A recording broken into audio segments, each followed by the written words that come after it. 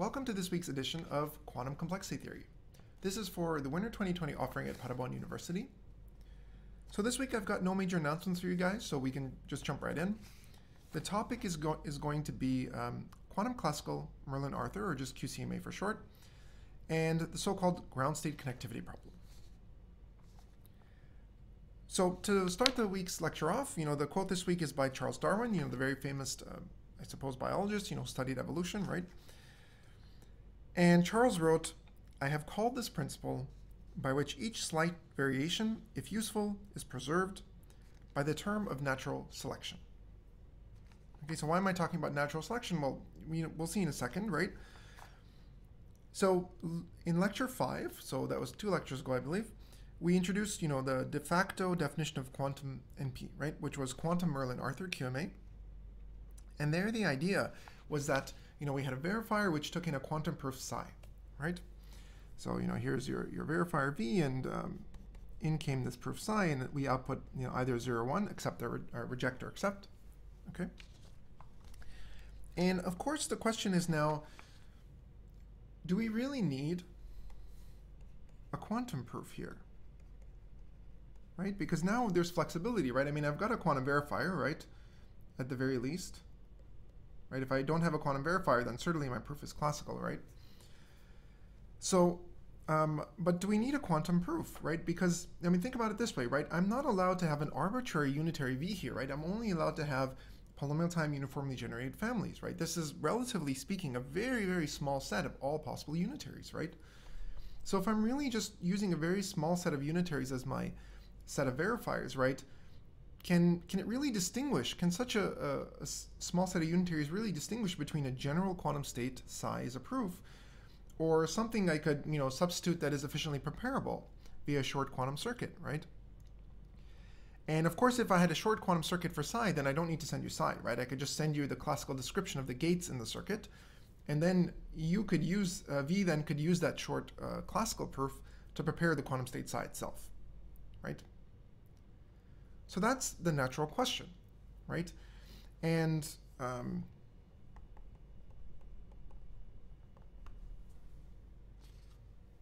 okay. And if we do this right, then if we have a classical proof, this is going to be the class QCMA. Okay, so the verifier is still quantum, but now we think about a classical proof. And we ask, of course, what is the power of this class, right? So what's trivial is that if I allow classical proof instead of a quantum proof, obviously this is only weaker because you know you could also send a classical proof in the case of QMA if you like. But you know the direction that's open is the pre the converse direction, right? This nobody knows, right? Can you, without loss generality, always assume that a classical proof suffices? Okay. And so this is really a connection to this quote at the beginning of this lecture, right? I mean, this variation of allowing uh, a quantum proof versus a classical proof, it's not clear whether this buys you something extra, right? Whether this is useful in some sense and whether in this sense nature will opt to keep it, right? Um, at least that's what I think I said, right? If useful, you know, each slight variation is preserved and this is called natural selection, right? So we don't know if having a quantum proof is useful here, right? So in this sense, natural selection, quote unquote, is, is yet to play its hand in the study of quantum proof systems. Okay. And so today we're going to study this quantum variant QCMA. Okay, and let's just start by defining it. So this is section one, quantum classical Merlin Arthur. Oops. Okay, and of course, whenever I say QCMA, I mean promise QCMA as usual in this course. All right, uh, let me see if I need to maybe zoom out slightly, fit a little bit more into this page. Okay, or is that maybe too much? All right, let's just leave it like this, and if I need space, I'll zoom out a bit. Okay, um,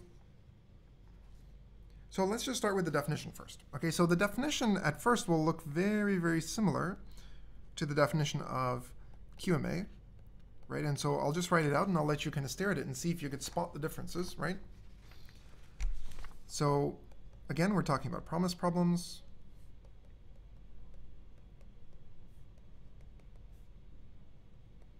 So yes cases, no cases, and valid cases. And this is going to be in the class QCMA if there exists a P uniform uh, quantum uh, circuit family. Okay, so these are your verifiers. And uh, polynomials. Q and P.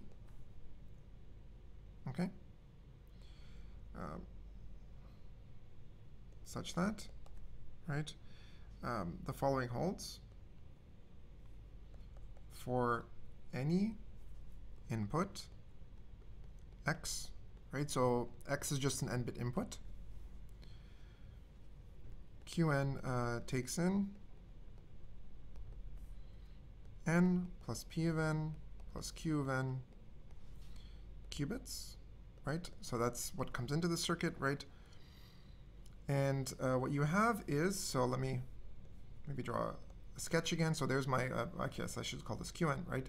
So I take in the input, right? This is your n bits, x, your input. Uh, then, as usual, you get your um, proof, right? And um, in this case, I'll write it down formally in a second, but this is your proof. And as usual, we always get workspace, right? Otherwise, you know, we're quite restricted. So that's your Qvin. And these are just ancillas, which are initialized to all zeros. Sorry, that should look like that. And we output a single bit, right? And so um, we have these three registers, right? So, um, so we have input X on register A, and we'll use this terminology, right? So this is A, right? This is going to be B, this is going to be C, right? Proof Y and 0, 1 uh, to P of N on B, and um, ancilla so Q of n ancilla qubits on C, and of course these are initialized to all zeros. Okay, such that uh, measuring the output qubit of Qn in the standard basis yields the following, right? So we have three cases as usual. So um, we have the yes case or completeness, we have the no case, and then of course we have the invalid case. Okay, so just like before, that's the basic setup. And so let me write what happens in these three cases, right? So in the yes case, if your input was in the yes set, right?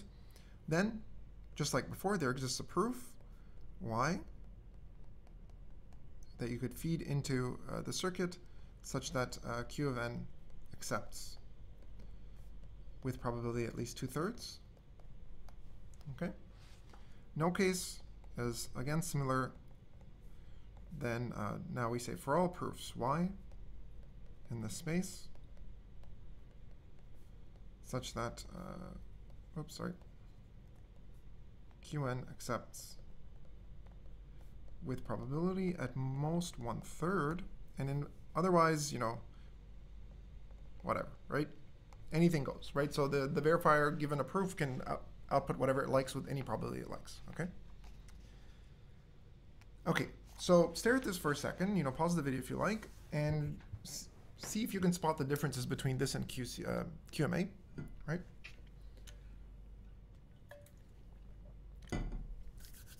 Okay. So what's the difference? There's really only one difference, right? Everything is the same.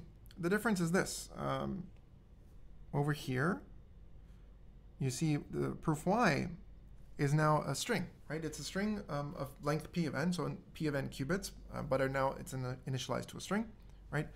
And same thing here, same thing here, right? Otherwise, everything is the same, okay?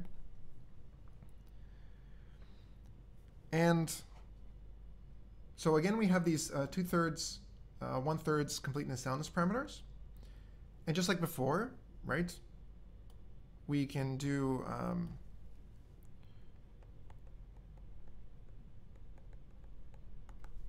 right? Just like before, uh, number one, we can do error reduction via parallel repetition. So in this case, uh, you'd think I'd know how to spell this by now, right? Repetition, right? Okay. So in this case, um, think about what happened in QMA, right? In QMA, um, we had two notions of error reduction, right? Uh, one which was we did parallel repetition and that blew up the proof size, and that was weak error reduction. And then we had strong error reduction, which somehow managed to take in just one copy of the quantum proof and still, um, you know, blow up the soundness, completeness soundness parameters to exponentially close to one and zero. Okay.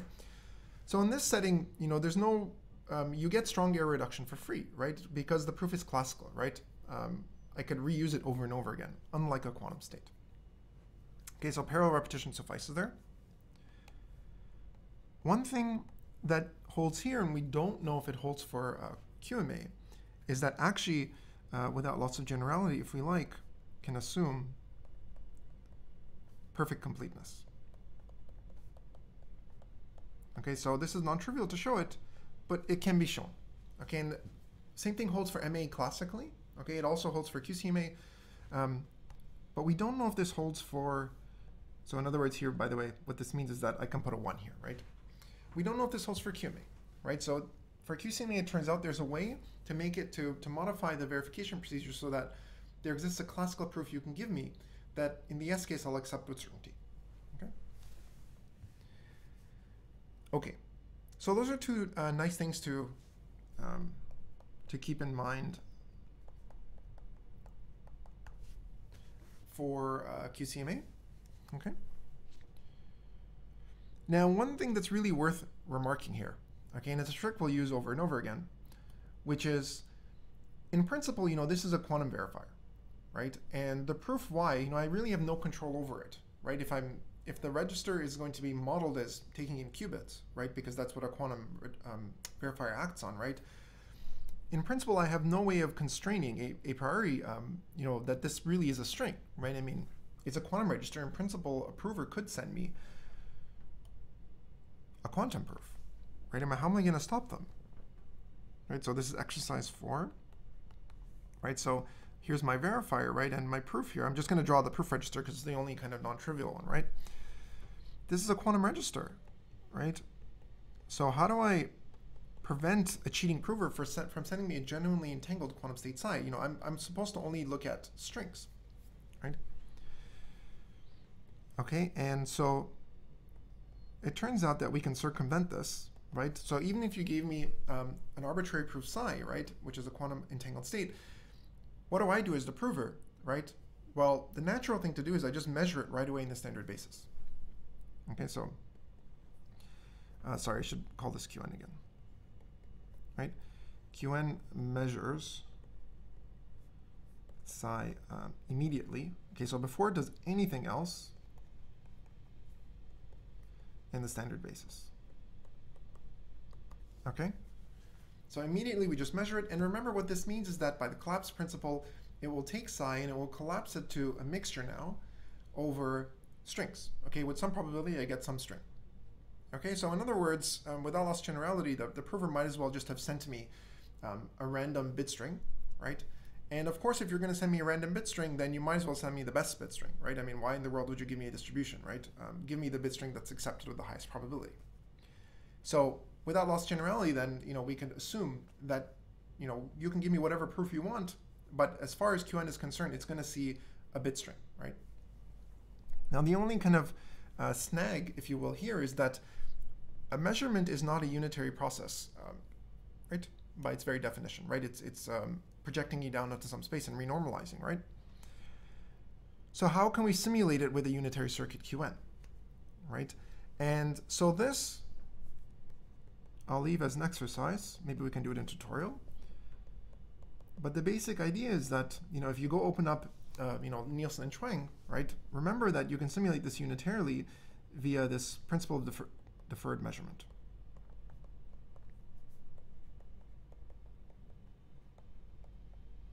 Okay, so all that really meant is that, you know, very roughly, if I have this proof psi coming in, you know, instead of measuring it, right, which I can't really do in the unitary setting, I basically do a CNOT from each of these wires from the proof psi to some ancilla space, right? I mean, maybe I'll very briefly sketch about, let you think about why this works. So I just have some ancilla space I add, and then, you know, these proofs right away, what, what the verifier does right away is it, you know, takes each of them and does a CNOT here, and then that's it. it. It just kind of leaves them at the end, and, you know, if you want, it measures it at the end. It doesn't really matter, right? And in doing the CNOT, it couples, right, each of these proof wires, right, with these ancilla qubits, and effectively speaking, right, it ends up decohering this wire, right? So that, you know, when I'm doing a measurement on this space, which is the original space, remember, all it really sees are these wires, but, you know, so it'll trace out this space, right? But if this wire is entangled with this wire, when I trace out this wire, uh, this space, right, then here I'll get a mixed state, right, intuitively. So again, I'll let you work through the details, but this is a nice trick to keep in mind. So we're going to use this throughout our constructions, and it's also important to make sure that QCMA is well defined, right? Because, I mean, what does it mean to force a classical proof on a space uh, if the register is really quantum, right? Well, this gives us a, a nice, clean, uh, robust answer for that. Okay, so that is the, the, the definition of QCMA, okay? And now I want to tell you about um, the ground state connectivity problem.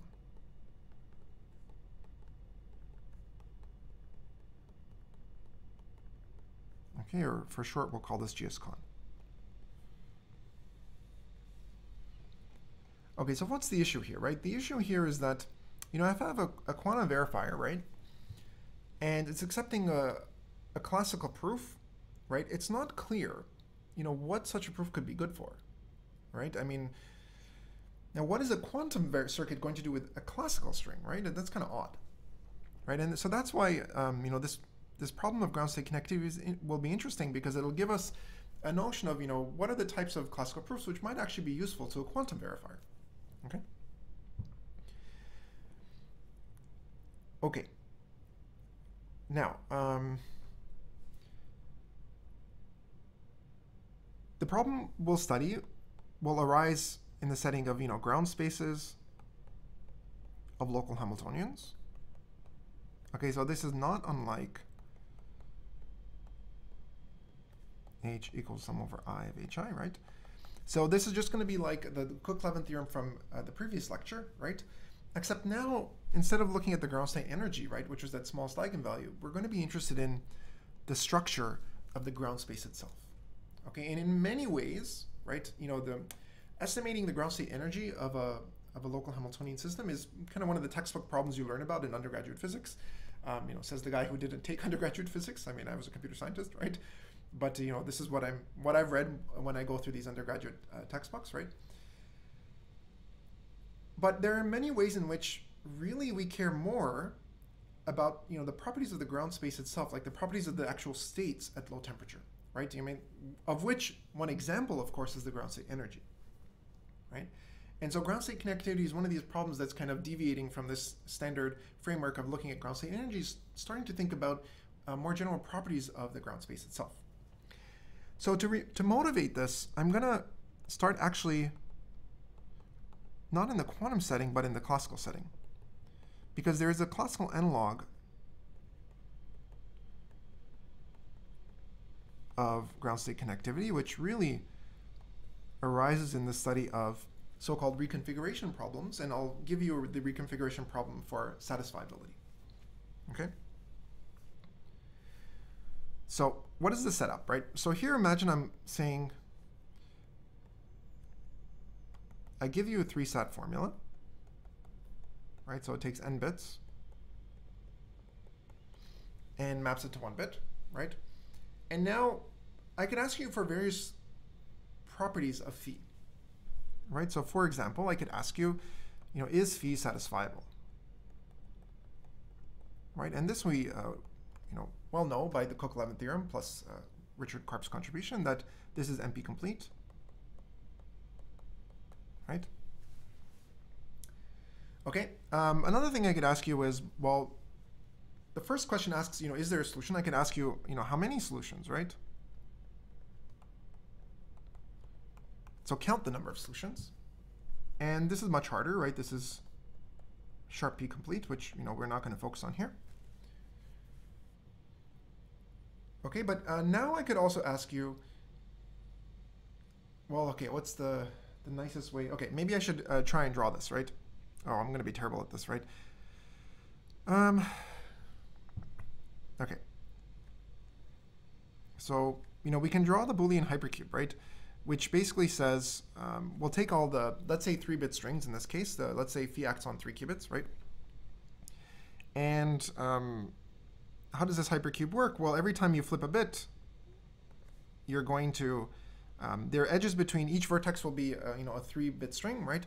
And um, every time we go for, uh, along an edge, we flip precisely one bit in the string, right? So here I will flip, um, let's say 0, 1, 0, right? And when I go along this edge, I will flip uh, 1, 0, 0. And this may or may not be the standard drawing of the hypercube because I'm terrible at drawing and I'm going off memory here. Okay, so, um, oops. Okay, so this is supposed to look like a, a 3D cube, of course. So let me first draw the cube itself, and then we can fill in the blanks, right? Okay, so how does this work? Um, so yeah, I started at 0, 0, 0, right? And then I flip a 1, the last bit, and I get here, for example. Um, I flip the first bit, I get here. I flip the middle bit, I get here. You know, you could have labeled them any way you really liked, frankly. Um, and so for, for here, let's just say I flip 0, 1, 1, for example. Um, nope, that doesn't work.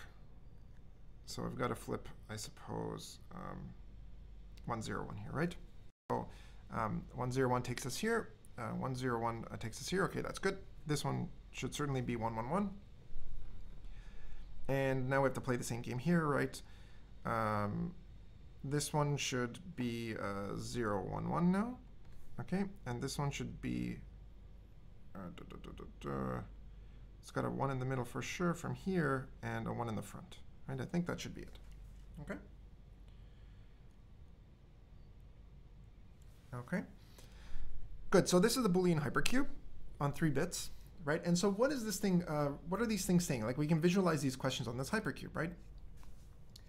So a red dot, a red vertex will mean a, a satisfying assignment okay, to phi. That's what I'm going to use in this notation, right? So the first one is asking, you know, is there a red dot on this hypercube, right? So let's say, for example, you know, 0, 0, 0 was a satisfying assignment, so I'll color in red. And so uh, the first question is asking, you know, if you, we can think of the phi, this, this formula phi, as basically an implicit description of this graph, right? It's, it's literally a graph, right? And when certain vertices on this graph are essentially Either you can think of them as being marked in red, or you can think of the black vertices as just not being there. Okay. Okay, so is there a marked vertex? Um, okay, that's NP complete. I could ask how many solutions are there? So maybe there are two solutions like this, for example. And then, you know, that problem is count the number of red vertices. That's going to be NP complete. But now I can ask other questions, right? So for example, this is a graph, right? And what can I ask on graphs? Well, you know, maybe we have a, a bunch of different uh, solutions, right? Maybe those are my solutions. And the question, one of the most natural questions you can ask on a graph is, well, is the graph connected, right? Or is it, you know, two separate components? Okay, so, um, you know, is uh, the set of solutions connected? Okay, and this is in this graph theoretic sense. And so really now we're asking about the structure of the solution space, right? I'm not just asking for one solution. I, I want to know the structure of the space now, right? And so really this is why we're talking, we're going to end up talking about the structure of ground spaces. And this thing basically um, can be much, much harder. It turns out it can actually be p-space complete. And the reason why I say can be is it depends on how we ask the problem, right? So today, the way we're going to phrase the problem is we're going to give the NP complete variant of the problem. Um, but in principle, it can be p-space complete. Okay, so in this picture, for example, we might ask, you know, is the set of solutions connected? And, you know, indeed it is, right? I mean, here, right, if I think about the, the subgraph induced by the red vertices, right, all the edges connecting those, um, certainly it's a connected graph. It's just a, a chain, in this case, a line. Okay? Okay, so now let me formalize mathematically what it means to be connected because you know I'm going to give you a classical definition and I'm going to write it in a quantum uh, terminology so that it'll be most easiest to jump to the quantum setting. Okay, so this is the basic. Um, so by the way, this is a reconfiguration problem. Well, I haven't stated a reconfiguration problem yet. So let me give you the heads up of what it is. A reconfiguration problem is I'm going to give you two um, red dots to begin with, like this one and this one. And then I'm going to ask you, are those two connected through um, other red dots, right? Is there a path I can follow that only visits red dots, satisfying assignments, that goes from the first satisfying assignment 000 to the last satisfying assignment 111 in this example? Okay. So are these two vertices connected in this red subgraph? Okay, so uh, let's formalize this. So question. So what does uh, connected mean? So of course this makes complete sense if I think about it graph theoretically, but I want to write it in terms of my formula phi, right? So here's your answer. So your input to this reconfiguration problem is going to be First, you get this Boolean formula. Okay. I also give you um, two satisfying assignments. So two red uh, vertices. And let me call these x and y. These are also n-bit strings, of course. They're just vertices on the hypercube. And I also give you a length parameter, 1 to the m. Okay, and so um, intuitively m is going to restrict the length of your path, right? So I'm telling you you're allowed to have a path of length m. Can you go from x to y with a path of length m? By going only through the red vertices. Okay? So output, right, the following. Does there exist a sequence of at most m bit flips Okay, so you're walking on the hypercube now. You're gonna, you know, walk, let's say, from this vertex to this vertex. And what does that mean? Well, remember the edges of the hypercube tell us that we flip a single bit at a time, right? So 0, 0, 0, for example, would go to 1, 0, 0 here, right? So is so each of these bit flips is one uh, edge on the hypercube, right? So is there a sequence of at most m bit flips? And now I'm going to formalize this in a quantum way, meaning that I'm going to apply Pauli X gates to my string, right? And where I apply the gate depends on which edge I'm taking, of course. So that's why I'm going to use this um, index I1 to say it's a Pauli X on you know one of the bits I1. You know, I'm not, I don't know what that is ahead of time. Then I apply a Pauli X gate on I2, whatever I2 is, and so forth, up to um, the last one is IM, right? So I'm allowed to do M bit flips. And again, these are Pauli X. So just a NOT gate, right? And the key point is, like we said, there are two properties we want to satisfy. The first one is that intermediate states are in the solution space. Okay? So what does that mean formally? That means that uh, for all k in the natural numbers, right, and um, intermediate states xk, right? So I start at x, right? x is my very first string, and I'm trying to get to y, right? Here they are. I start at x. So, you know, in this picture, for example, let's uh, imagine I call this over here x, and here I call this y, for example. And I'm trying to get from x to y. So after the kth step, I'll call that xk, right? So what formally, what does that mean? Well, you know, it's really nice in this formalism because it's very easy to write this down, right? this is what I just applied the, NOT gates, right? xi1, you know, whichever bit i1 that acted on, xi2, dot, dot, dot, and then we go only up to x um, right? I only apply the first k bit flips. So here's k, k. Okay, so for all of these intermediate states, what was the idea? I had to only go through red vertices, right? That's what I'm trying to say. And so what, what is the defining property of a red vertex? Well, the defining property is that it satisfies the formula phi, right? All the intermediate um, vertices are satisfying assignments. Okay, so that's the first thing I wanted to do. And um, so that makes sure I'm walking on the red edges. And so uh, the second property I wanted is, of course, I wanted to end up at y, right? And so um, the final state is the target state. Okay? And so what that basically means is that if I start at x, of course, and then I start applying all of my Pauli x operators up to xm, eventually I'll get to y. Right? That's what this is saying. Okay, so I'll let you stare at that for a second. So this is um, what we mean by the reconfiguration problem for 3-SAT. Okay, and you can play this game with, you know, pretty much any problem you like, right? Um, so, for example, vertex cover or, uh, and so forth. Okay, so let's just do some quick examples just to help internalize this definition, right? So here's my uh, reconfiguration problem. Okay, so exercise 5, for example, takes an explicit formula. Let's just talk about 2-SAT to make life easy. So here's my 2-SAT formula, all right? And let's suppose I start with x equals 0, 0, y equals 2, uh, 1, 1, right? So again, this is just going to be, um, well, okay, first, well, okay, let's draw the, the hypercube. So this is a 2-bit hypercube. This will be easier to draw. Okay, so there are only uh, four vertices now. And who's connected? Well, we connect, of course, everybody that's can be reached through a single bit flip at each step. Okay, there we go. And now, of course, my goal is, um, you know, I'm starting at x, so here's my x. Here's why. And by definition, these have to be satisfying assignments, and we can easily check that 0, 0, and 1, 1 satisfy this. So these are certainly going to be red dots, right? And now, um, you know, we can fill in this hypergraph, right? What are the other satisfying assignments? Well, a two-SAT clause is only one failing assignment, right? And in this case, the failing assignment is 0 and 1, right? So 1, 0 is a satisfying assignment.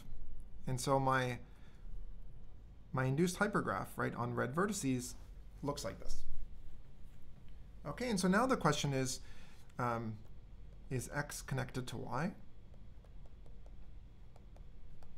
And you know, clearly, if you actually draw the picture, you know this is true, right? You just go like this, right? You first walk this way and then this way. Okay, so, so that's a very kind of a basic example to give you a visualization of how this works. Okay, and you can come up, of course, with uh, more general Boolean formulas where you know the the graph, this um, the red subgraph that's induced here is not connected. Okay, of course that, that holds. I mean, if that wasn't true, then of course uh, this reconfiguration problem could not be hard for anything um, other than perhaps p, right? Because then the answer would, is, well, not even then, because the answer would just always be yes, right?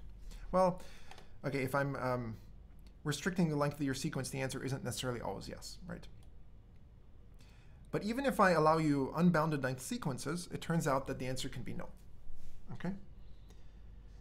And so here's an important observation. So um,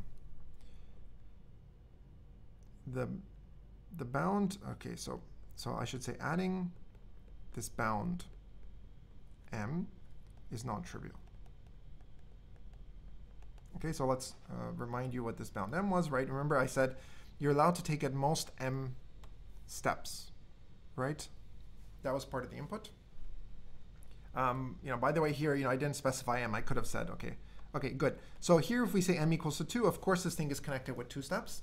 If I had sent m equals to 1, then the answer would have actually been no, right? So even though 0, 0 is connected to 1, um, right, the shortest path is of length 2, and if I had put m equals to 1, then the answer would have been no, right?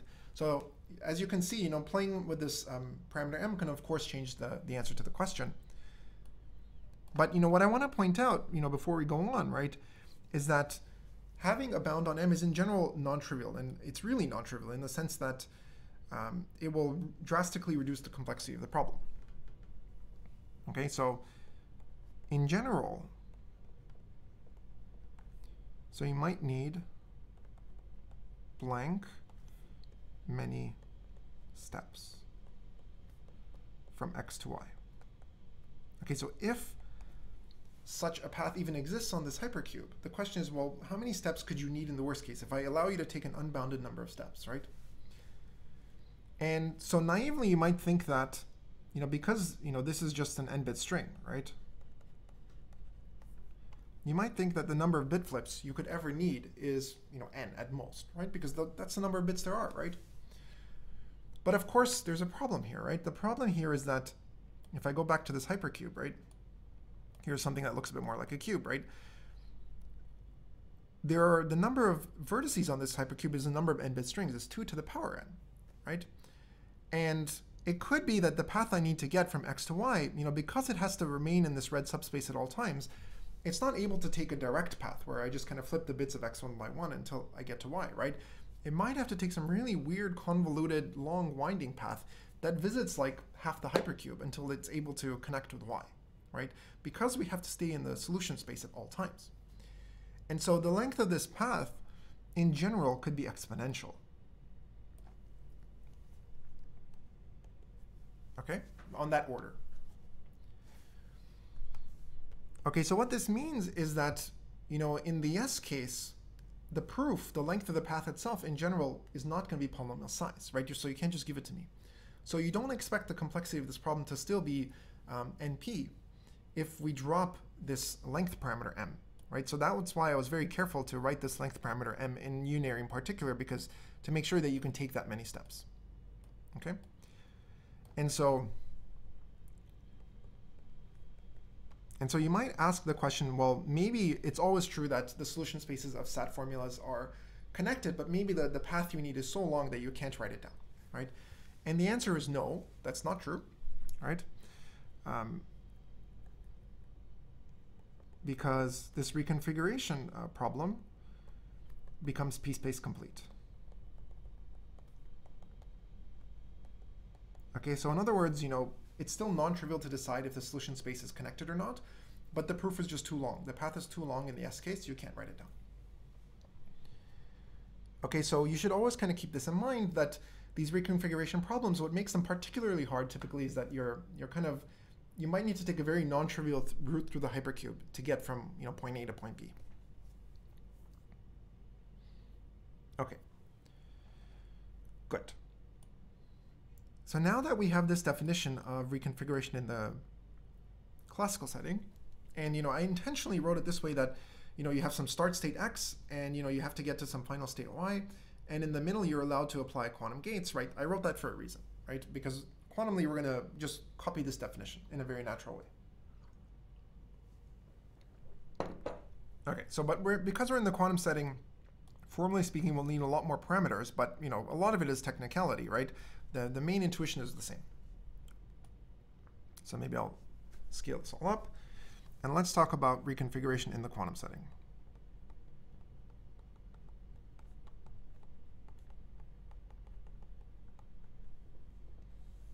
All right. Okay, so let me just go jump right into it. We'll write down the definition and then we'll absorb it, if you will. Okay, so it's going to be a little bit of a long definition again because we have to formally define a number of parameters. But again, I'll just point you to what's important in terms of the intuition. Okay. So we'll start by fixing a polynomial. I'm going to call it delta to be consistent with my notes. Okay. So as usual, we'll have input and output. So let's start with our input. Okay, so let's just think back to 3SAT, right? In 3SAT, the input was what? Well, we started with the 3SAT formula, right? So the natural quantum analog, as we've seen in, in the last lecture for this, is a local Hamiltonian, right? So give me a k local Hamiltonian. Uh, da, da, da,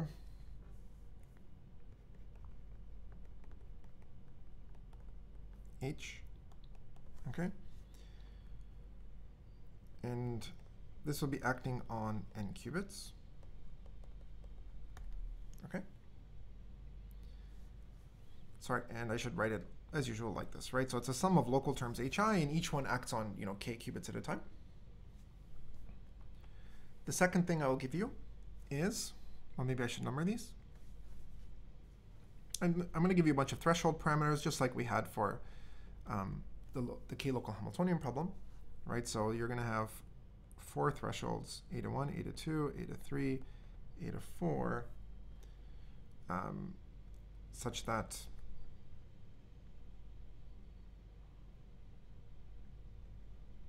so um, this thing's bigger than delta. Uh, sorry, this should be eta 2 versus eta 1. Eta 4 versus eta 3. Also greater than delta. Okay. And again, just like before, we're going to get this length parameter, right, for m a natural number. Okay, and by the way, I mean, if it wasn't clear, let me be clear that, um, you know, what I mean by 1 to the m, of course, is the string of ones uh, that's repeated m times, right? I don't mean 1 to the power m, of course, because that would be trivial. Okay, and the third thing I need to give you is just like for 3-sat, right? I need to give you start and final uh, satisfying states, right? So here, of course, the, um, the ground states of a local Hamiltonian in general might require exponentially long circuits to prepare, right? They're quantum states, right? So we have to, of course, have a restriction here. And of course, the restriction is going to be that the start and the final states should have short quantum circuits, right? Otherwise, I can't even hope to write them down. Keeping in mind, of course, that typically speaking, the inputs to our problems are always classical, right? I'm, you know, typically the field does not study or has not really um, started a rigorous study of what happens if you have quantum inputs. Okay, and you know, I think that's a nice question, but you know, that's not what we're going to focus on here, right? Okay, so what does that mean? That means that I need to give you uh, poly-size circuits, quantum circuits, um, U uh, phi and U psi, generating starting st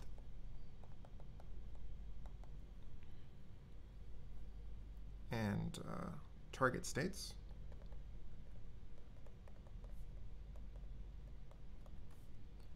Phi and psi, right? I mean, so that's just uh, this subscript here, right? And what's the, the property? Of course, these are supposed to be um, satisfying assignments, right? So what does that mean? That means that their energies are small, right? So such that phi of my Hamiltonian phi, this is going to be small. Uh, same thing for this one, right? So the start and end states are low energy, so they're satisfying assignments. And so, you know, I have to give it a parameter. As the parameter I'm going to use is eta 1. Again, you know, you can sort of ignore the parameters for this discussion, you know, other than just remembering that they're inverse polynomially separated. These are just the promise parameters that we have to put in, right? So so eta 1 uh, is the same, and that's this one over here. Okay, so that's our definition of low energy.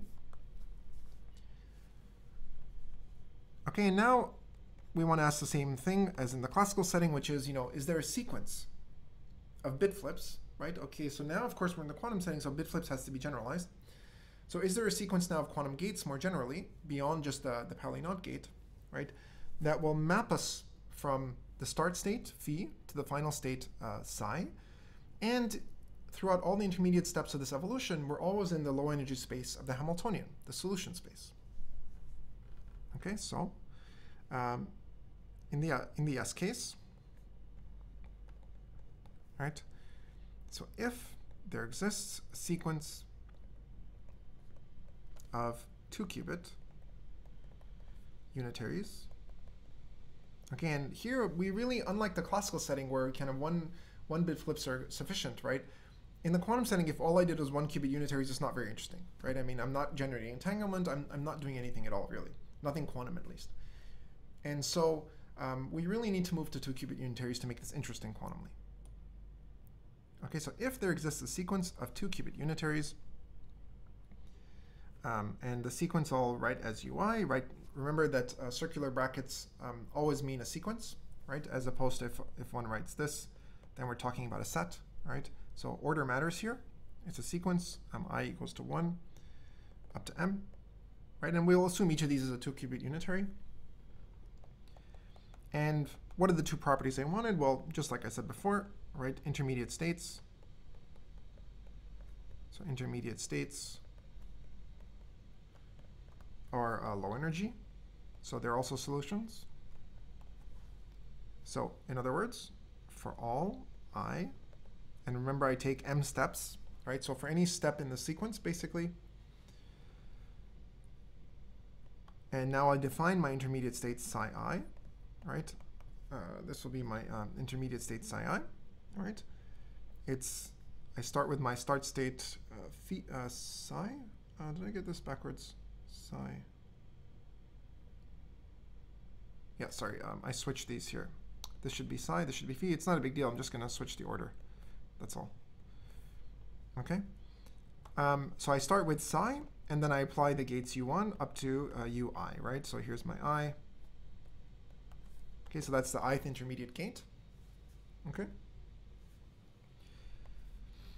And what's the property I want? I want that for each of these intermediate states, the energy is low. Right? And so low, remember, was uh, defined up here. It meant we wanted to be smaller than this eta 1.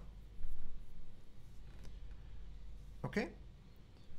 And the second thing I needed, okay, and the second thing I needed was that my final state should be, you know, ideally equal to um, what I get from my starting state and applying this full sequence.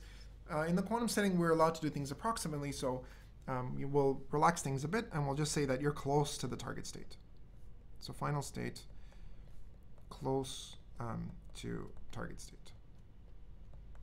Okay, and that just makes it a little bit better defined you know, quantumly, any computation you do realistically is going to be noisy ultimately in the lab. So uh, in general, it's not a good idea to make things line up perfectly, right?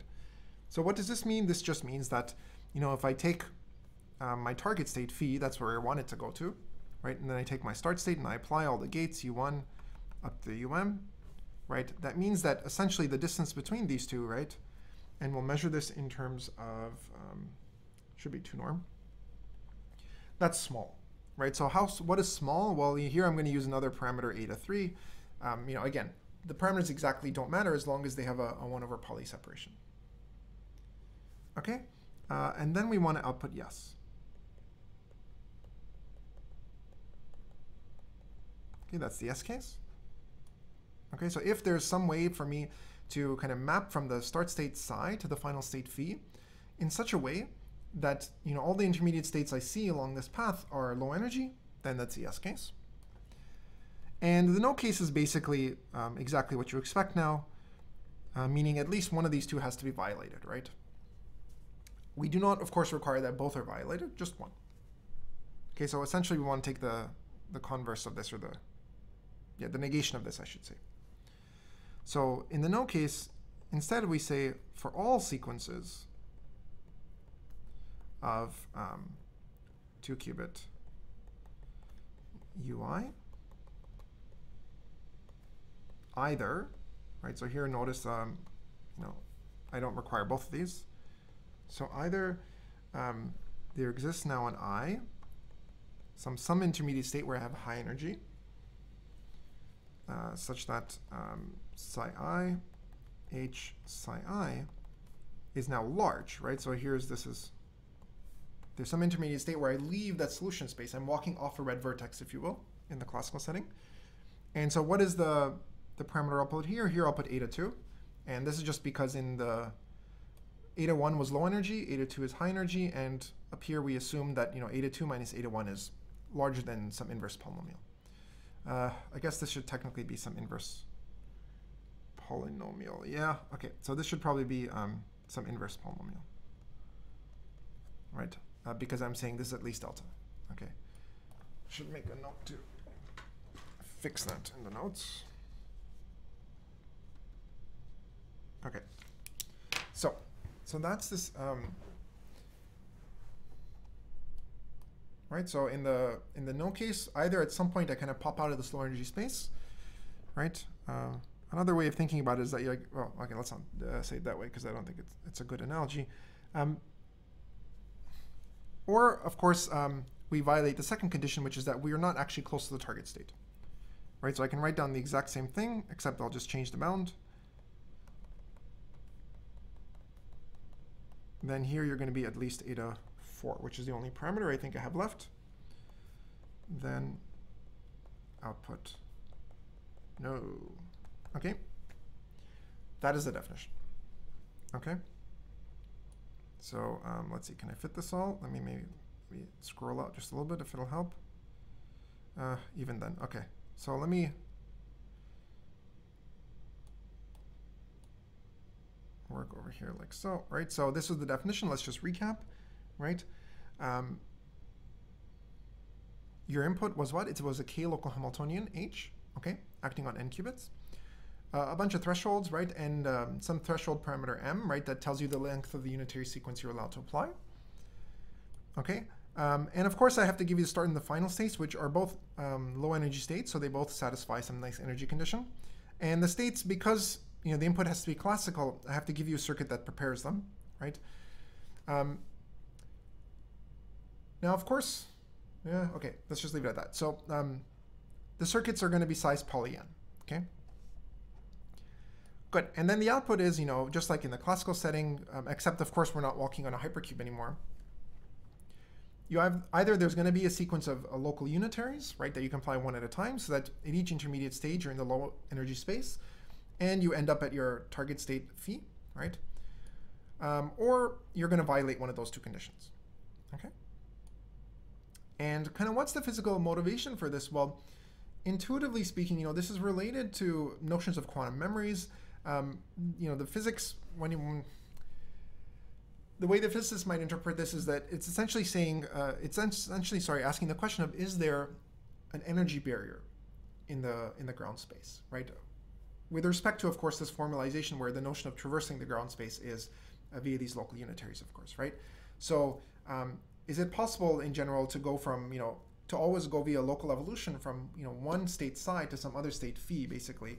Um, or do you always kind of hit an energy barrier at some point and have to kind of jump out of the ground space? Okay, that, that's, that's roughly the question this is asking. Okay, so that's kind of the, the physical um, motivation for this question, if you will. Okay. Um, in the context of things like quantum memories, like where you have a some sort of system that's trying to um, store the state of your quantum computer in terms of like code words, let's say, right? In general, you don't want kind of property to hold, right? You don't want there to be kind of a low, a small sequence of unitaries that will um, kind of map you through the ground space um, from one code word to another, right? And the reason why is because um, if the if the evolution is always happening in this low energy space, right, then you're not really going to be able to, de to detect this thing, right? I mean, you're, you're, you're going to measure the Hamiltonian and you're never going to detect that you've left the low energy space because you haven't left the low energy space, right? And so, um, you know, without you knowing it in some sense, there, there could be a short evolution that kind of uh, discreetly maps the code word you really wanted into some other code word in your memory. And there's kind of, it's difficult to detect it basically, right? That's the, the very rough idea. But, you know, for the purpose of this lecture, let's just say um, this is really the problem of detecting if the ground space is an energy barrier that kind of separates the or splits up the solution space.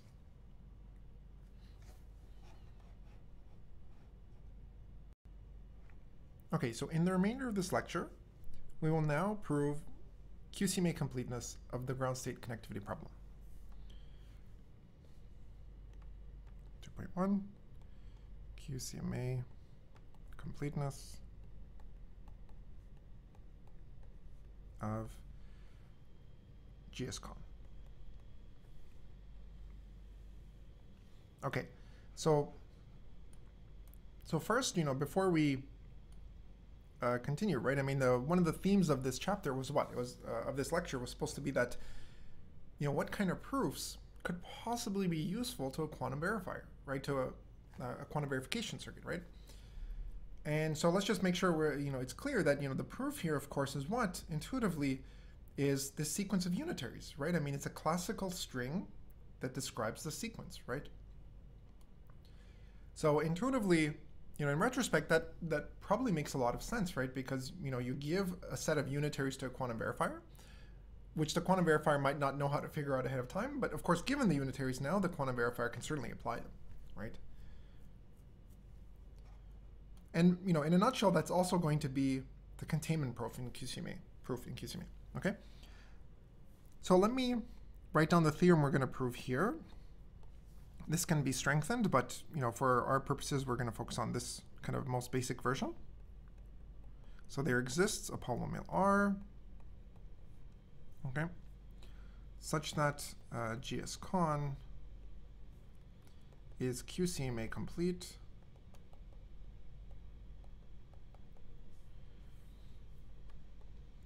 And, you know, well, now the parameters matter a bit, right? So the number of unitaries you're allowed to apply, the key point is, of course, it's going to be polynomial so that you can actually send it to the verifier in the yes case. Uh, so m is going to be in um, order r of n. This one right here. And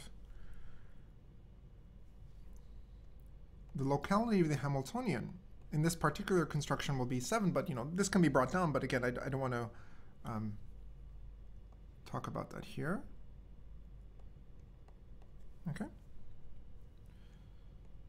And n is the, the number of qubits h acts on, right? h is the Hamiltonian that goes into the problem.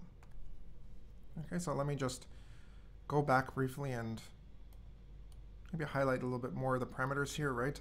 The main parameters that come into this problem are what? Well, the locality of the Hamiltonian k, right? Ideally, we want something like 2, let's say, right? Um, the Hamiltonian itself, which is a local Hamiltonian, right? So you could write it, write it as a sum over i hi for constant size hi. We're acting on n qubits, okay? Uh, we have a bunch of these threshold parameters that just tell us kind of what counts as low energy, um, high energy, what counts as close or far in terms of the target state. We have the number of uh, steps m, right, the unitary steps you're allowed to apply. And then, of course, we have the, the start and the final states, which are specified by these circuits, uh, u psi and u phi, respectively. Okay, so those are all the parameters uh, we need to keep track of. So here the main ones that really matter for our discussion are, you know, the number of uh, unitary gates is polynomial, the locality of the Hamiltonian is um, constant, which is good. Um, of course, it's less than ideal because 7 is rather large. Okay. Okay, so how do we prove this, right? So remember, completeness, of course, means two things, right? We have to show first containment in QCMA, and then we have to show QCMA hardness, right? So first, let's talk about uh, containment in QCMA.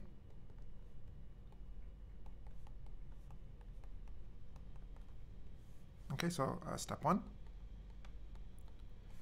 Okay, now intuitively, this is kind of obvious, right? Why is it kind of obvious? Well, at least the, um, you know, the basic idea of what you should be doing is obvious, right? Which is that, you know, we set up the whole problem so that in the yes case, there's this like sequence of unitaries that you can classically send a description of to me, right? And so obviously that's what you're going to send me, right, in the yes case. Okay, so, um, and let me just sketch this here. I won't do this in full detail here. But uh, the whole idea is that the prover sends a sequence of unitaries, two qubit unitaries. And of course, when I say, okay, well, I'll clarify that in a second. So it sends a sequence of m unitaries. You know, m is the, the number of unitaries you're allowed to send, right? Number of steps you can take. Okay. Now you have to be a little bit careful, of course, because technically speaking, these unitaries might, um, you know, have not irrational numbers um, entries in them, for example, right? So you cannot specify them exactly, right? And so um, more accurately, you imagine that you can put down um, something like an epsilon net over the set of uh, two qubit unitaries, which you can certainly do, right? So in other words, you take that space and you kind of discretize it into a set of like representatives, which are, um, which will always get you within epsilon, right? So this is just going to be some set of unitaries, a two qubit.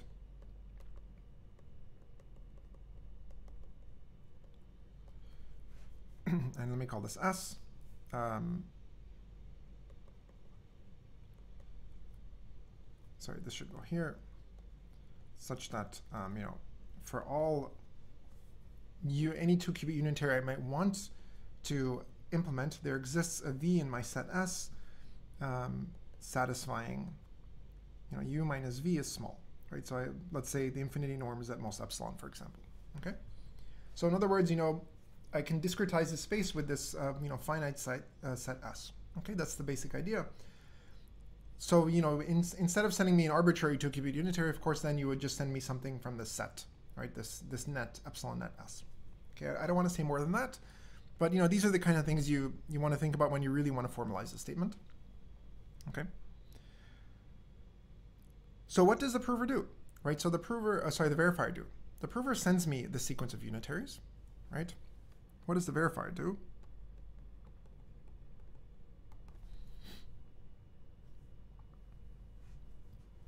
Okay, um, what does it do? Well, it can prepare poly many copies of all intermediate states. Right, so remember the intermediate states, let me just repeat this definition, is you start at your start state psi, and then you apply only the gates u1 up through ui. Right, that's this i parameter. Okay. So I'm the verifier, right? You told me the the the C the preparation sequence u1 through um. I know how to prepare the start and the final state, right? Because you gave me I mean, the input gives me circuits for that, right? So here I know how to prepare psi, right? I have a circuit for that as part of my input. I also know how to prepare the target state. I have a circuit for that. So what this means is that you know I can prepare polynomially many copies of every single intermediate state over and over again, right? Because again, the proof is classical. I can reuse it over and over again, right? Uh, of course, and I can also um, prepare the target state phi in this way, right? Because I have a circuit for it. And now, of course, I've got these many copies of the states floating around, and I could just do the checks I need to do, right? Um, so remember, I need to check two things. I need to check that your energy is low, right, in each step. This I can do. I know what H is. I can prepare psi i myself, right? So I can just run the, the containment proof in QMA for the local Hamiltonian problem from before, right? Remember, this meant we just pick a random local term of H and we measure its energy. Okay? So it'll run two tests, right? And you can do these kind of as many times as it likes until it gets kind of the accuracy it wants. Number one, so I can measure, or I shouldn't say measure, but I can estimate, right? For all i, uh, psi i, h psi i. Okay, so I could always estimate those and check that this is less than, uh, I think we said 801. Okay, and for this, remember, it just uses the um, pick a random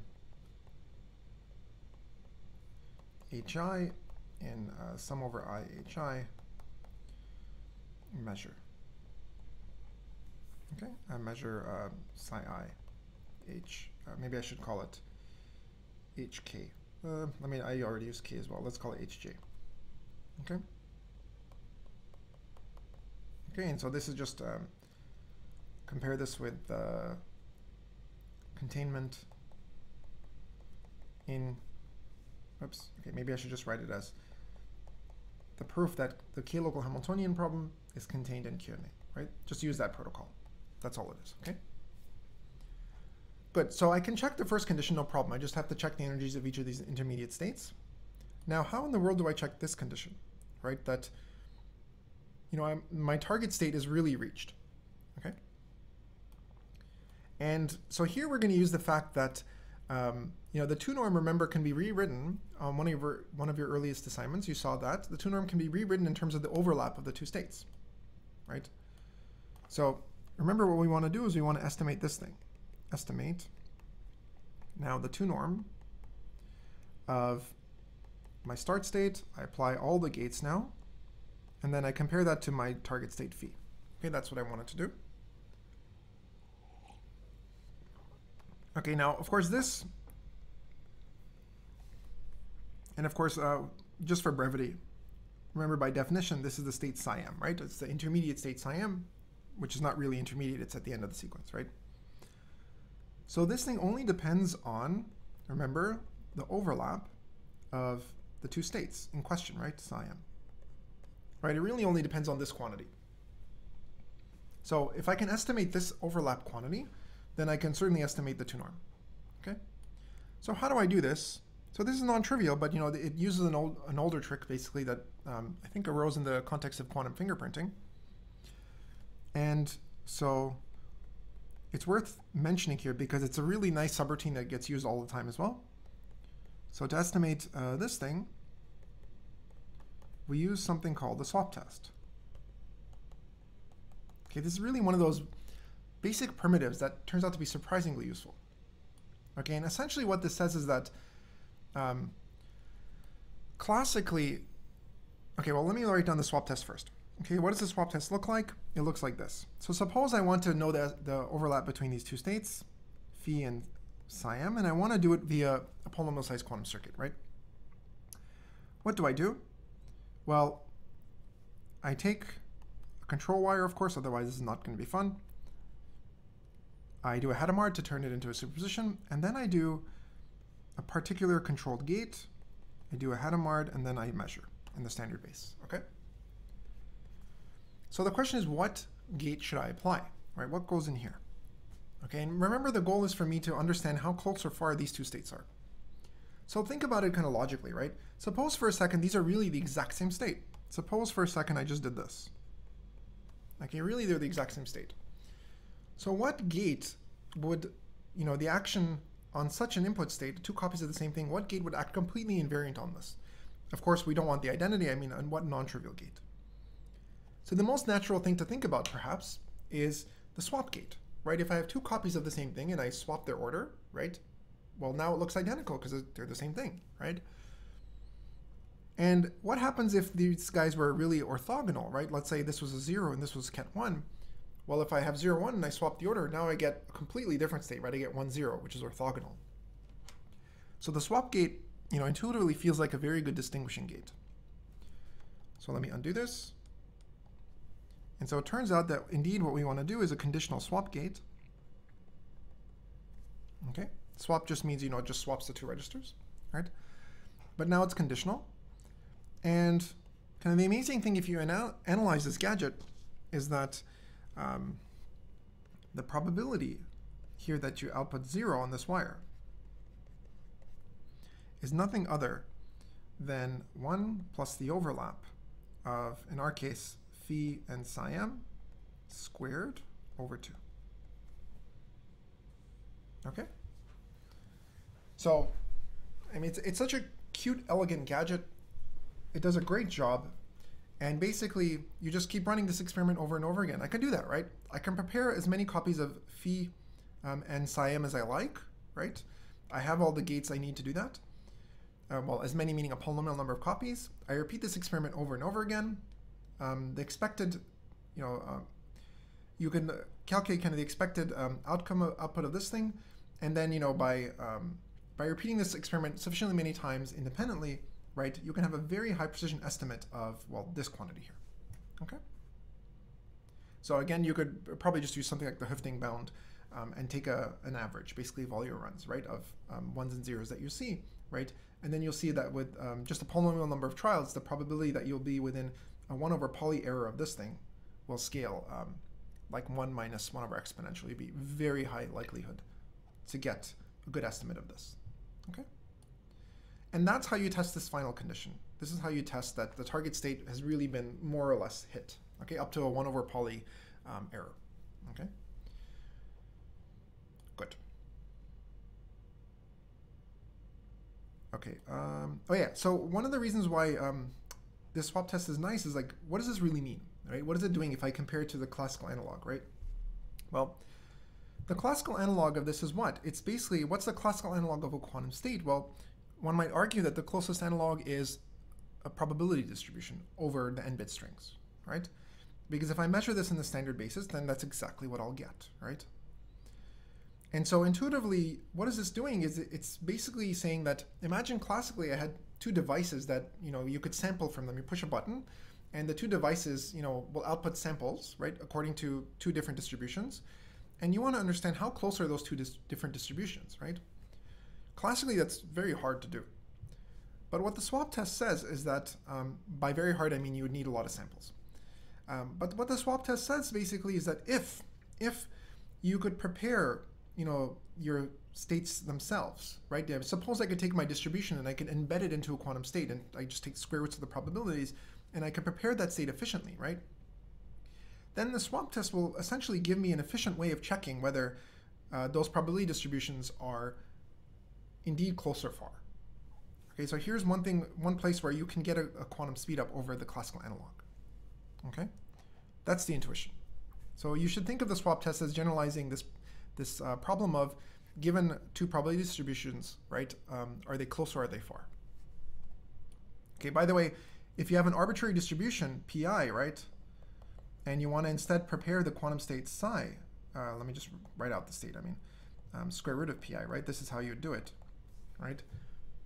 In general, you can't do this efficiently, right? It's not necessarily clear, right? It depends how you've been given this distribution, okay? So you have to be a little bit careful, right?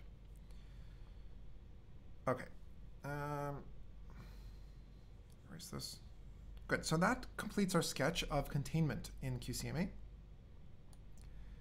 Okay, so um, again, you can prepare as many copies of the intermediate states you like, and you just measure energies, or you can do the swap test to check how close you are to the target state. Good. So now that leaves us with proving QCMA hardness. So that is kind of the main obstacle we want to overcome. Okay, and so um, what does it mean to show, show QMA hardness? Well, again, let's um, just take our promise problem. A yes, A no, A invalid. Okay? And let this be an arbitrary QCMA problem. Okay, and of course what we want to do is we want to embed this into an instance of ground state connectivity.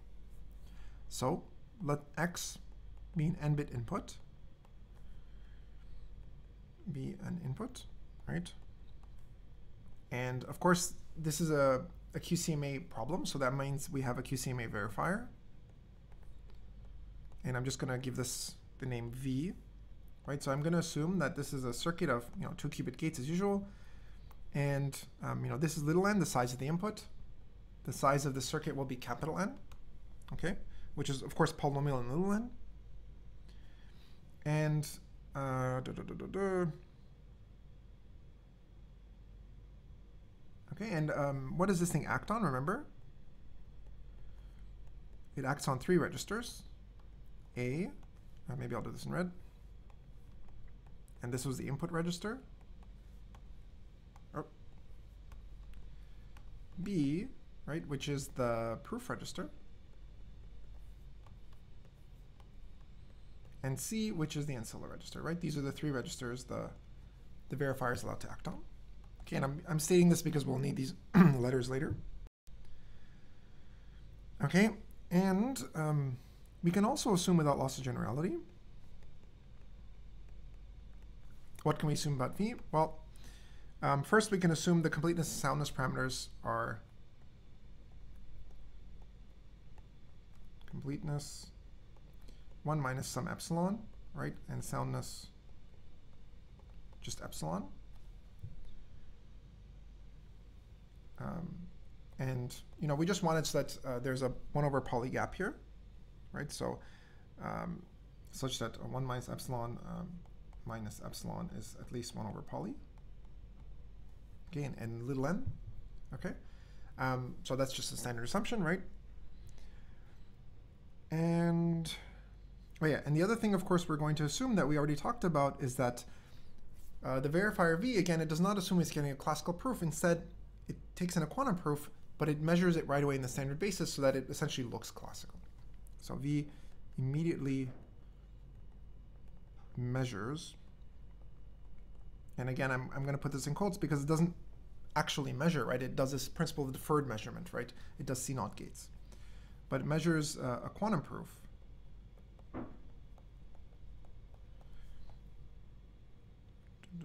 Um, in the standard basis.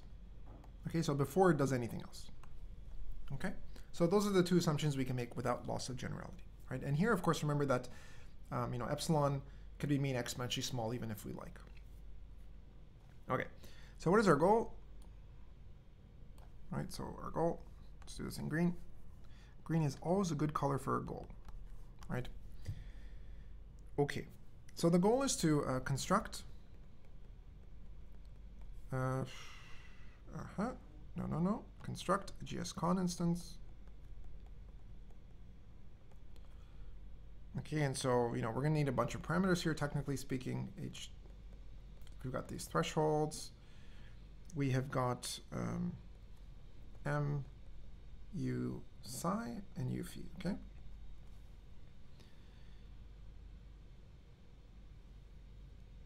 such that, right? Um, okay, so if the input was a yes instance, right, then there exists a sequence of two qubit gates u1 dot dot dot u um, m, right?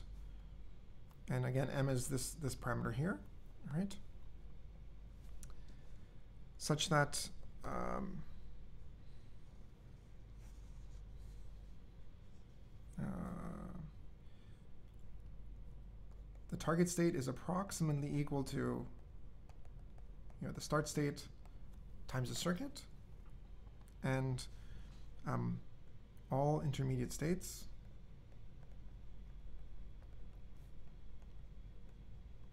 satisfy psi i, h psi i is small, right? So this is what we wanted to accomplish in the yes case, right? And in the no case, if x is in a no, right, then we want to set it up so that for all such sequences of gates, um, either um, phi, you know, minus uh, psi m, that final state, is large. I think we said this was eta 4. Or um, there exists an intermediate state such that this quantity here is large, eta 2. Okay? So we want to violate at least one of those two conditions. That, that's the basic setup. Okay, so make sure you're comfortable with that um, before we continue. Okay, so what's the construction, right? As usual, we're first going to give the construction, then we'll argue uh, completeness and soundness for it. The construction, by the way, will run kind of obviously in polynomial time, so I'm not going to stress that. So how do I take my QCMA verifier and embed it into an instance of ground state connectivity, right? In particular, you know, a priori kind of the challenge of this is we're not just talking about kind of a static state like a ground state in a ground space, right? We're talking about kind of carving a space through um, the ground, carving a path through the ground space, right? So it's it's somewhat more of a dynamic object waving hands here, right?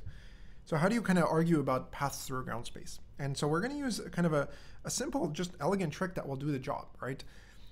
And it works like this, right? The first time you see this, it might actually you might think like, you know, what in the world is this? Like, why does this even do anything interesting, right? So let's just first write down the gadget and then we'll um, go through the logic as to why it actually does something interesting. Okay. So what we're going to do, kind of obviously, is, you know, I have a verifier V to begin with, right? That's my uh, QCMA verifier up here. That's this uh, bad boy over here, right? So I take V, and what am I going to do? I need a Hamiltonian, right? So I'm going to plug it into the only Hamiltonian construction I know, which is the, the quantum Cook-Levin theorem, right? This uh, Feynman-Kitaev Hamiltonian, right? So let HCl be um, the five local Hamiltonian, Hamiltonian, obtained uh, from V by applying um, the quantum Cook-Levin theorems, circuit to Hamiltonian construction.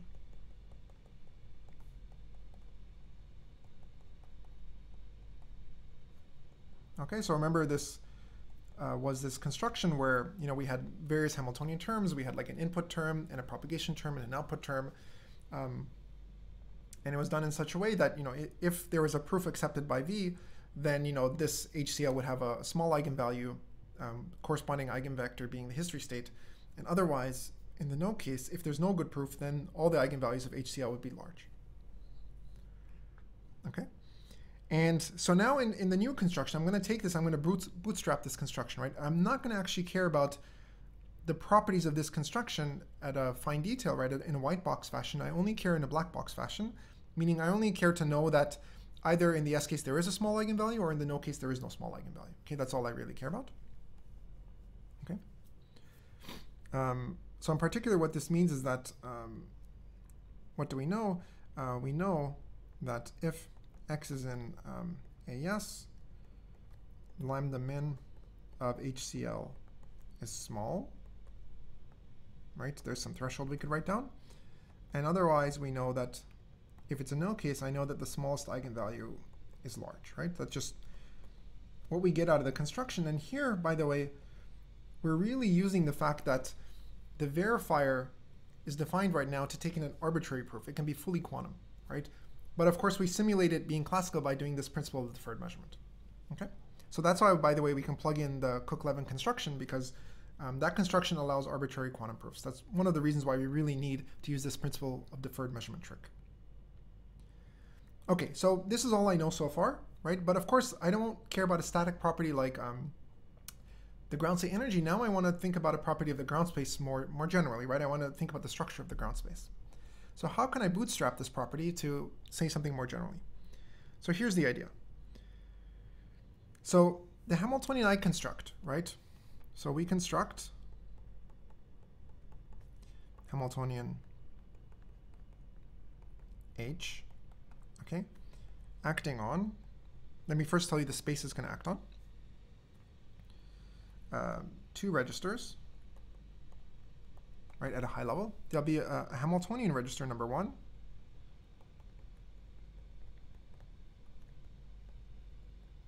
Okay, and the reason why it's going to be called the Hamiltonian register, which by the way has name H, is because this is where we're going to put this Cook-Levin Hamiltonian. By the way, this is a CL, right?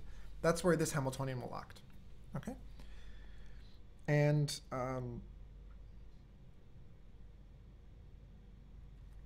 right, and so this really will consist of all the registers that that Cook-Levin construction acts on, right? It acts on uh, A, B, C, D, right? So what was this? This is the input register, right, to the verifier. This is the proof register to the verifier, right? This is the ancilla register. And now when we push that all through the circuit to Hamiltonian construction, we had to add one more register, which was the clock register, right? And this was the unary clock register. Okay. And so this is n qubits. Why is it n qubits? Well, this is exercise uh, 10 right? The reason why it's n qubits, let's just remind ourselves what capital N was, right? Capital N was, you know, we started by assuming we had an input, X, with a QCMA verifier V, and that had capital N gates, right? And so that's why the, the Hamiltonian itself, the Feynman-Kitaev Hamiltonian, will need to go through n time steps, right? Because it, the history state will have n terms, well, technically n plus one terms in superposition. Okay, Okay. so this first register H will basically act on these four subregisters because that's what the Hamiltonian HCL will act on. And the new register we add here is going to be the so-called um, go register because essentially it's going to it's going to be three qubits and it's going to act like a switch. So we're going to build a switch gadget to uh, turn on or off um, HCL, essentially. Okay, so this is the idea. So I have this HCL, right? Uh, this one up here, sorry, and I have some nice properties about it. And the idea is going to be that I'm going to build a switch gadget that's going to make it so that I could switch this Hamiltonian on and off. Okay, that's the basic idea. Okay, and then we'll see why this will allow us to um, convert things into a ground uh, ground space traversal question. So that's basically um, the Hamiltonian H I'm going to construct acts on these two registers. Uh, by the way, the go register will just be uh, G, no, G for go. So let's define the actual Hamiltonian now.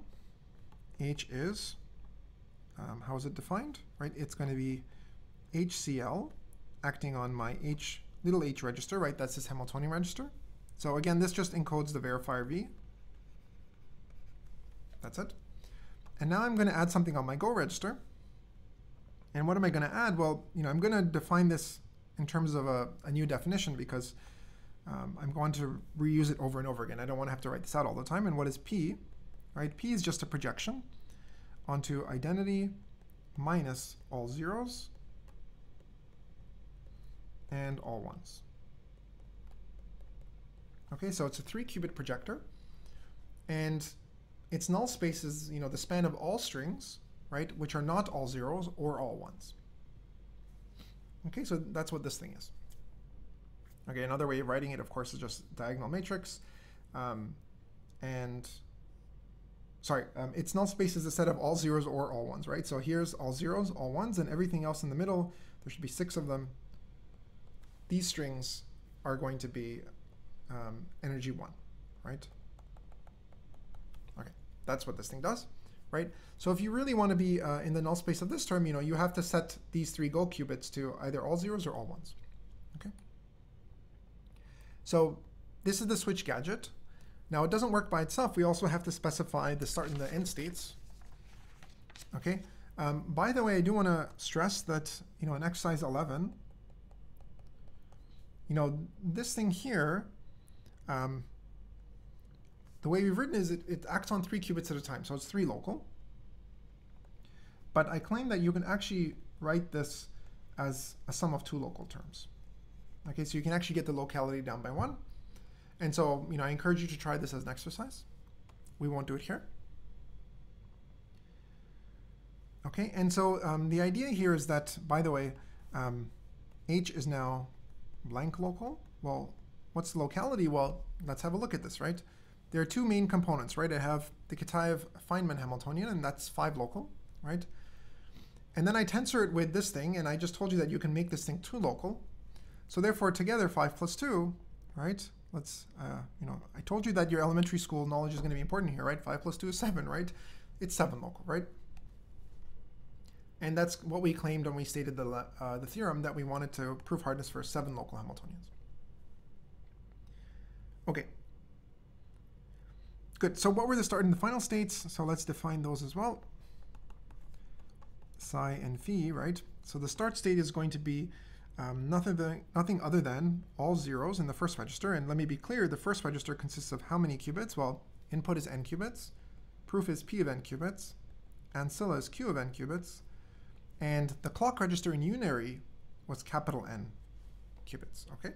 So that's all of that stuff. And the second register, the go register, this is on H. The go register is just three qubits, and it's just going to be set to all zeros. And finally,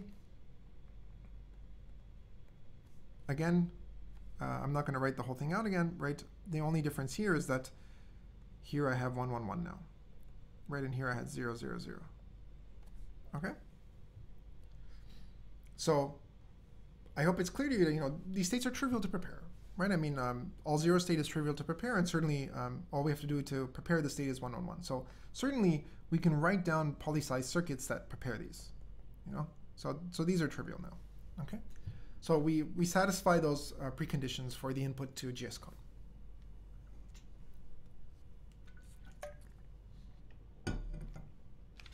Okay.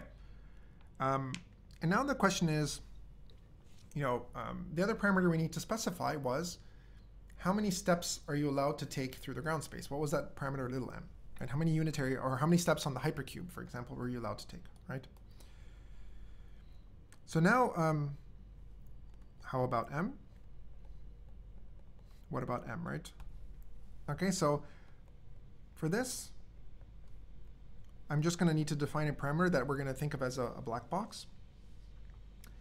W is going to be um, the size of the circuit, the unitary circuit, to, uh, uh, sorry. So the circuit itself will be W, the size of the circuit will be absolute value of W, um, size of the circuit to prepare um, the history state. This is uh, from the previous lecture, right? The history state of the Cook-Levin Hamiltonian given uh, classical proof y.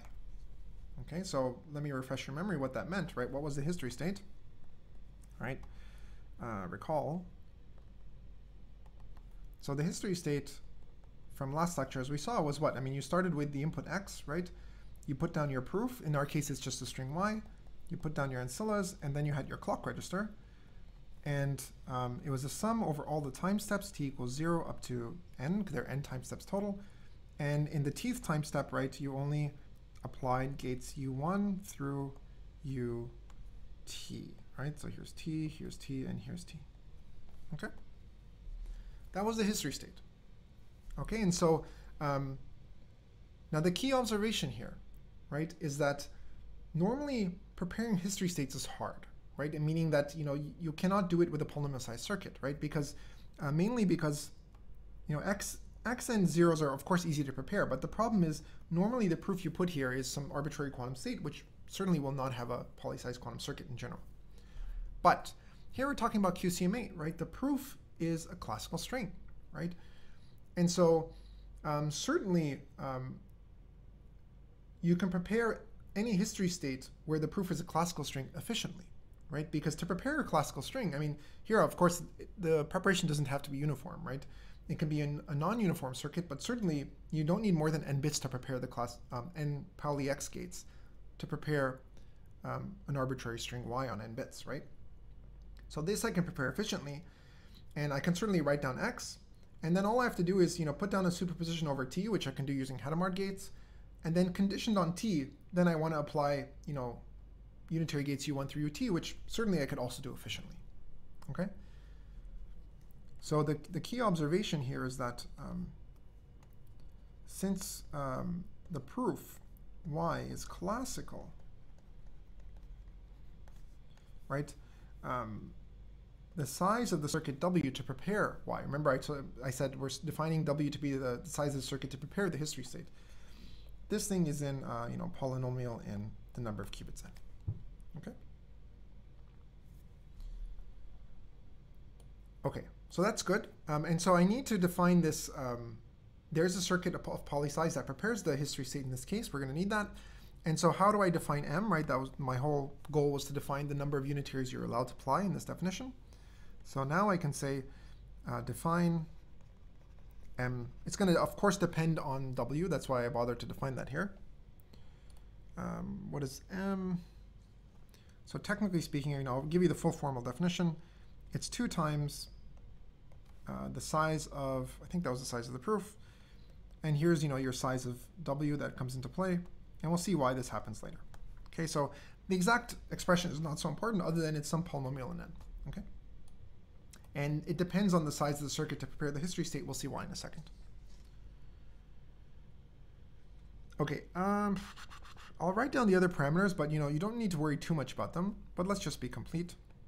So um, how about the thresholds? Okay, so here they are. Um, let's start with eta 1. These are the high and low energy thresholds, and surprise, surprise, you know, these will just have to do with the thresholds you get out of the Cook-Levin theorem, the quantum Cook-Levin theorem. So these were the high and the low energy thresholds. And here, normally what you'd get is this. So this was high energy. This is low energy. Okay, so normally um, out of the Cook-Levin construction, you got this alpha minus beta, um, alpha and beta parameters, right, which were polynomially separated. It's not exactly what we're going to get here, unfortunately. Low energy for us, we're going to have to divide through by an additional term that will scale with the number of, um, da, da, da, where did I get this thing from? Um, sorry, you gotta, oh, sorry, 8 and 1 over 2, good, good, good. That will scale like this, 16 or n squared. So it's going to scale with the number of verification steps in the unitary. Okay? I think that's right. Yep. Okay. So, um, so those are going to be the high and low energy thresholds. And then, you know, technically speaking, I mean, you could look it up, but um, alpha and beta are just defined as in the Cook-Levin theorem. This is just uh, the probability, the soundness parameter basically over n plus 1. I feel like I've uh, reversed these things. You know what? Uh, this is a typo in the notes. Sorry. Da, da, da, Where is it? Ah. This should be over m squared. This should be n. Right, sorry. So of course, um, so first, can you spot the typo? Let's see. If you've been following these parameters, why, er, okay, hold on, n plus 1, right? So why is that wrong, right? I, I wrote that alpha, which comes from the Cook-Levin construction, depends on m, which is the number of unitaries in GSCon. Why is that wrong? Well, we covered the Cook-Levin construction last week, before we knew anything about GSCon. So why would alpha know anything about little m? right? Which has nothing to do with the local Hamiltonian problem, right? So obviously, um, the mistake here is that this should depend on the size of the verification circuit, which is capital N in our notes, or in our discussion here. I have need to fix this in the course notes. And of course here, what that means is that um, this needs to scale with the parameter little m in our GSCon construction.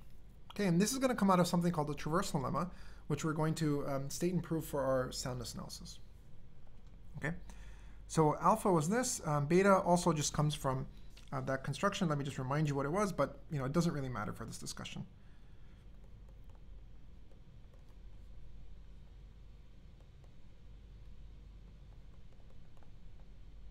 Okay. Good, and epsilon is at least um, some small inverse polynomial. Okay, so that's 80182, high and low energy. And uh, again, for completeness, let's talk about the other two parameters, which are close and far to the target state. So this is close, whoops, close, and this is far from the target state. Okay, and these are going to be really simple, actually. It's just zero. Close means we're actually going to hit it exactly, it turns out, right, in the yes case. And in the no case, um, we're away by some constant distance, a quarter, let's say. Okay, so you know there's some wiggle room here in these parameters. Okay, so that's the full construction.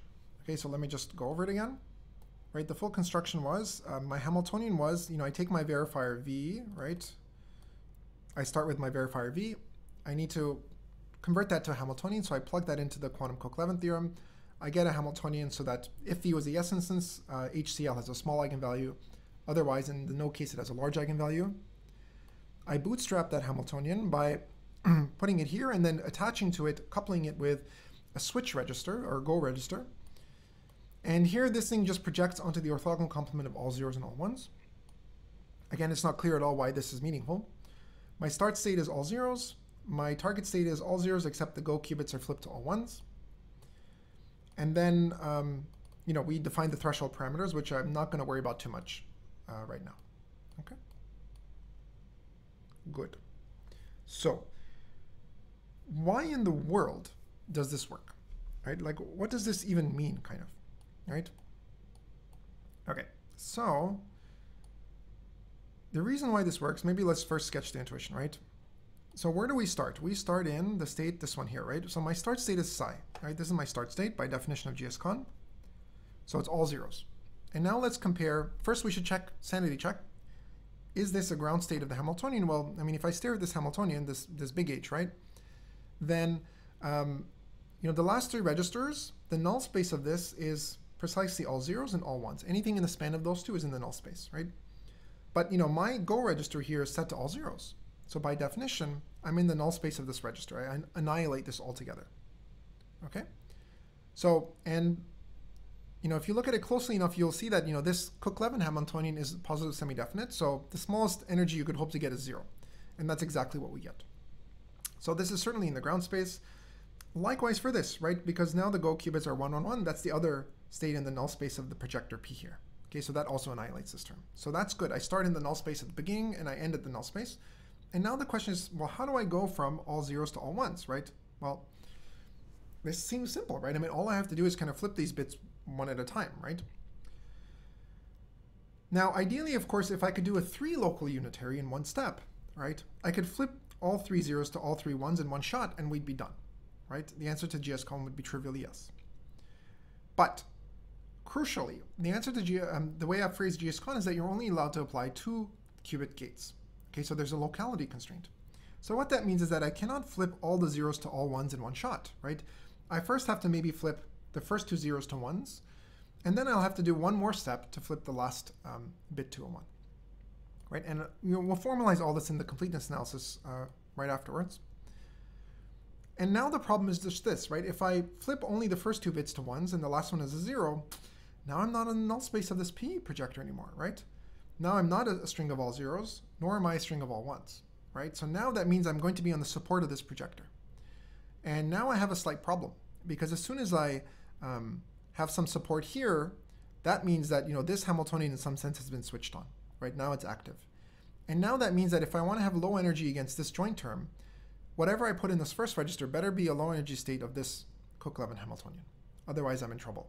Otherwise, I have an intermediate state now where I've left the low energy subspace. That's the basic intuition. Now let's do the completeness analysis because that will formalize that intuition and, and help you see it a second time and really kind of internalize it. Okay? Okay, so let's do completeness.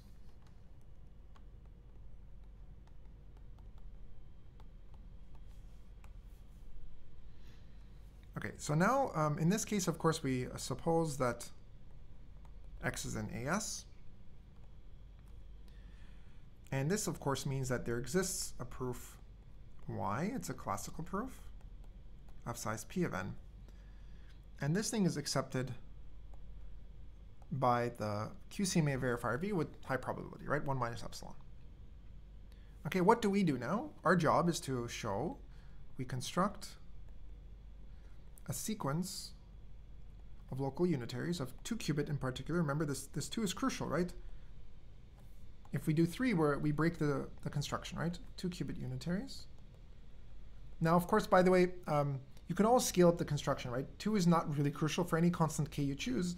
You just make the go qubit register, uh, instead of k, it becomes k plus 1. And then you'll still get the hardness result. Okay? But for our setup right now, it's 2 is the crucial parameter. So we have a sequence of two qubit unitaries, I1 up to M, um, satisfying the yes conditions of GSCon, right? That's our goal. Okay.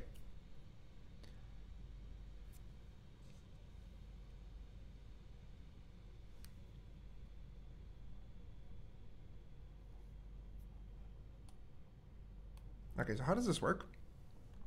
So in the yes case, we can assume the prover is honest because there's really no reason to cheat. There is a good proof. Whoops, prover. There's only one prover.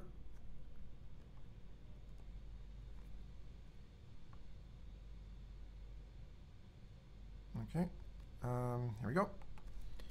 So what does this do, right?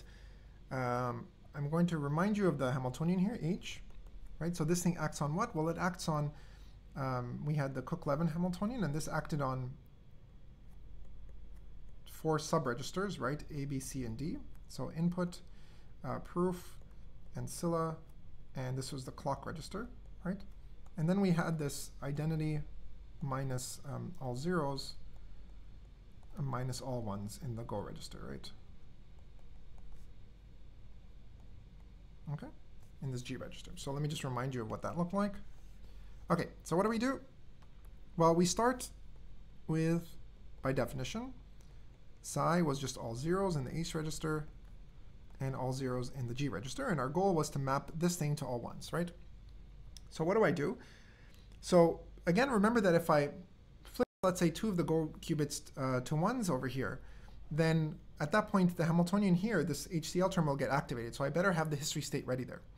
And so because I know what y is, right? Um, well, I shouldn't say I know what y is, but the prover will send the, the unitary circuit uh, preparing y, which can be done. It's a string, right? So what we will do is basically we will apply w, right? This is the circuit that prepares the history state. Again, I can do this because um, the prover can tell me the string y, and once I know y, I can prepare uh, the history state efficiently, right? So I apply it to register h, right? Uh, to prepare the history state, psi hist. Oh, um, okay, I used a slightly different notation here, and let me use that here. Um, I want to really emphasize that this is the history state um, based on y, right? So the history state as we saw up here, right, it's you tell me what y is, right here, right? You tell me what y is, and then I can build the history state on top in polynomial time, okay? So the prover gives me y. Well, okay, I guess alternatively here it's the prover who's um, sending these unitaries, right? And when you send the unitary, the verifier can actually like do, do the sequence, right? So um, we prepare the history state, right? In the first register. And now I can start switching the go qubits, right? So I can apply, um, I can only do two qubit unitaries at the time, at a time, sorry. So I could do x on you know the first G register, the second G register. The third one I can't touch because that would then be a three local unitary, right? And what this will do is this will initiate checking. Checking of uh, the history state I have in the first register. Right, so as soon as I have uh, 1, 1, right, okay, so now my intermediate state, by the way, is what? It's going to be, um, I'll call, just call it intermediate, right? right now what it looks like is that, you know, I have the history state in the first register, right? There it is. And in the second register, I have 1, 1, and 0, right? That's what I look like right after the step. And now the point is that, you know, 1, 1, 0, of course, is in the one eigenspace of this operator. Okay, it's, it's exactly in the space the projector projects on. And so now, you know, um, I'm essentially the overlap between um, psi intermediate. And h is what? Psi intermediate. If you actually look at this, well, um, you know, we have a tensor product structure here, right? I have tensor 110, and this is also a tensor product. This is in the one eigenspace of this projector, so really this is nothing other than uh, psi history, whoops, history state of y of uh, HCl, history state of y right? So this is what I meant when, when I flip those two first two bits to ones, now we initiate checking of um, the history state, okay? Okay, and this is not a problem because I'm in the yes case, right? I know that I prepared a good history state in this case, and I know that this thing is small, right? I, in particular, I know it's less than alpha, right? And this was our eta 1 parameter, I believe, okay? So it's not a problem right? And now I finish flipping uh, the go registers, which I can do now. I just do identity on G1, identity on G2, but now on the third one I do the last Pauli X gate. And this will basically end uh, checking. Okay, and, and now I'm essentially done because my Go qubit, uh, my Go register now has all ones in it. And so what I want to do now is um, I need to have all zeros in the front, but that's easy. I can just uncompute the history state uncompute uh, the history state. So that just means we apply uh, W dagger, right, to H. Okay? And that means that, um, I this is, um, oh, I skipped a step, didn't I? I knew this sounded a bit funny. All right. Um, technically speaking, sorry, W is the circuit that works assuming you have the, the proof y at the so uh, the right spot. And so really what I needed to say is, um, sorry, use. Okay, so you give me the proof uh, y, right? The, the prover gives me the verifier the proof y. And so use y, right, to prepare um, the state well, okay. Sorry. Uh,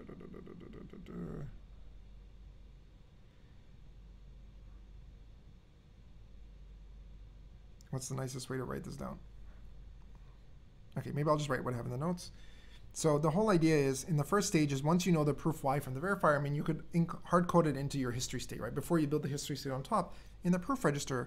Um, okay, maybe that's what I should write, right? So um, apply uh, Pauli X gates um, to HB. Oh, this is what I meant to say, right? So this is the, the proof register of the Hamiltonian um, register, right? Good. Uh, to prepare the state Y in, in that B register, right? And then once I have that there, then I can apply the circuit W, which uh, builds the history state on top of the proof, okay? And so now um, I can uncompute that. That's what we're doing here. And of course, finally, what I need to do is I need to uncompute the proof Y as well. Okay, so again, um, uncompute y to get all zeros in H, and then all ones now in G, and this is the target state. Okay, so that's the full sequence. Okay, so let me remind you now that the number of unitaries we were allowing ourselves to apply, right, this little m parameter, where was it? Little m, right? it depended on the size, well, two times the size of the circuit W for preparing the history state. And now we see why, right? It's because in step two, you know, I actually had to prepare the history state. I applied W, and here I also had to uncompute it at the end, right? Because at the end, um, I don't know what the history state will look like given the proof Y ahead of time, right? So, you know, uh, my final state just has all zeros in the front. Okay, so, you know, technically speaking, you know, I have exercise 15 in the notes that asks you to verify this fully. Everything I've uh, claimed to be true, right? So I recommend you do that.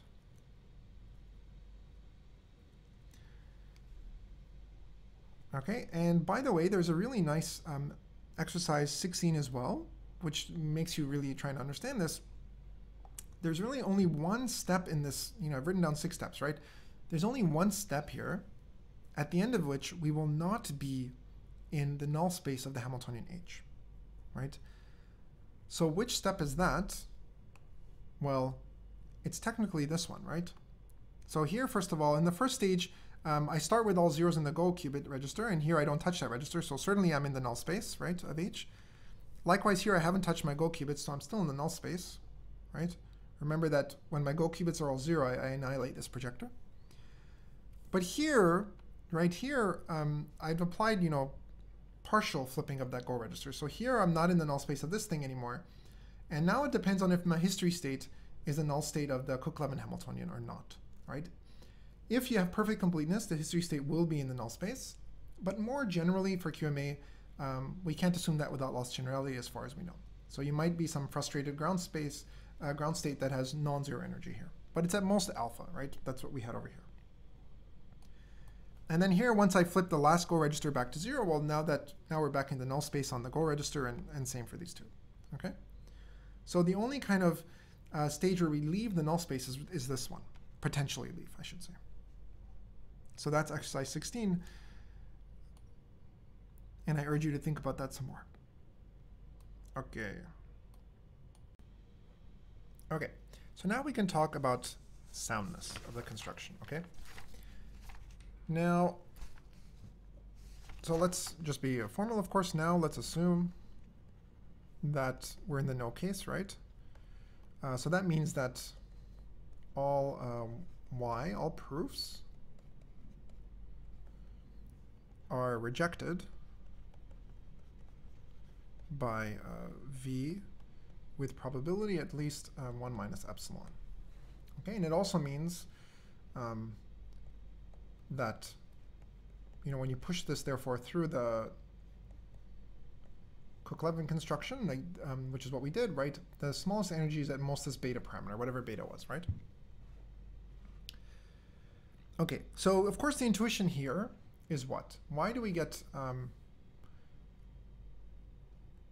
why do we get soundness, right? Or why do we expect to get soundness? Well, remember this was just um, the sum over HCl tensor um, P, right? Um, and this was just identity minus all zeros minus all ones, right? Intuitively, I mean, if I want to go from all zeros on that last register to all ones, and I'm only allowed two qubit gates, you would expect that, you know, at some point I need to have um, a large overlap uh, with some string here in this Go register, right, that is not zeros and not all ones, right? And as soon as I do that, I'm in trouble, right? Because um, that means that we switch on the Hamiltonian H, you know, effectively speaking, and now I know that all the eigenvalues of H are large, right? I know that no matter what state I kind of had prepared in this first register H, little h, there's no way I'm going to get a low energy penalty, okay? And that's basically the bottleneck that we're going to try and uh, leverage. Okay. Now there's a slight problem, which is that, you know, in the yes case, things were very um, nice and straightforward. I mean, we just um, apply Pauli X gates and, and life is good, right? But of course, we're not allowed to assume that uh, an arbitrary prover is going to behave in that way, right? They can apply whatever gates they want, right? As long as they're two local, of course. And moreover, those gates might entangle these two registers, H and G, and so forth, right? So we have to be careful that, um, you know, the, the obvious logic for soundness really does hold. Okay, it's not um, entirely obvious. And the main tool we'll use for this, which I'll first state and we'll use it and we'll only prove it afterwards, is the so-called traversal lemma. Okay, and what does this say? This says the following, and I'm going to define these things in a second. So first, we're going to have a notion of two subspaces, right? So these are, just think of these as um, n-qubit subspaces.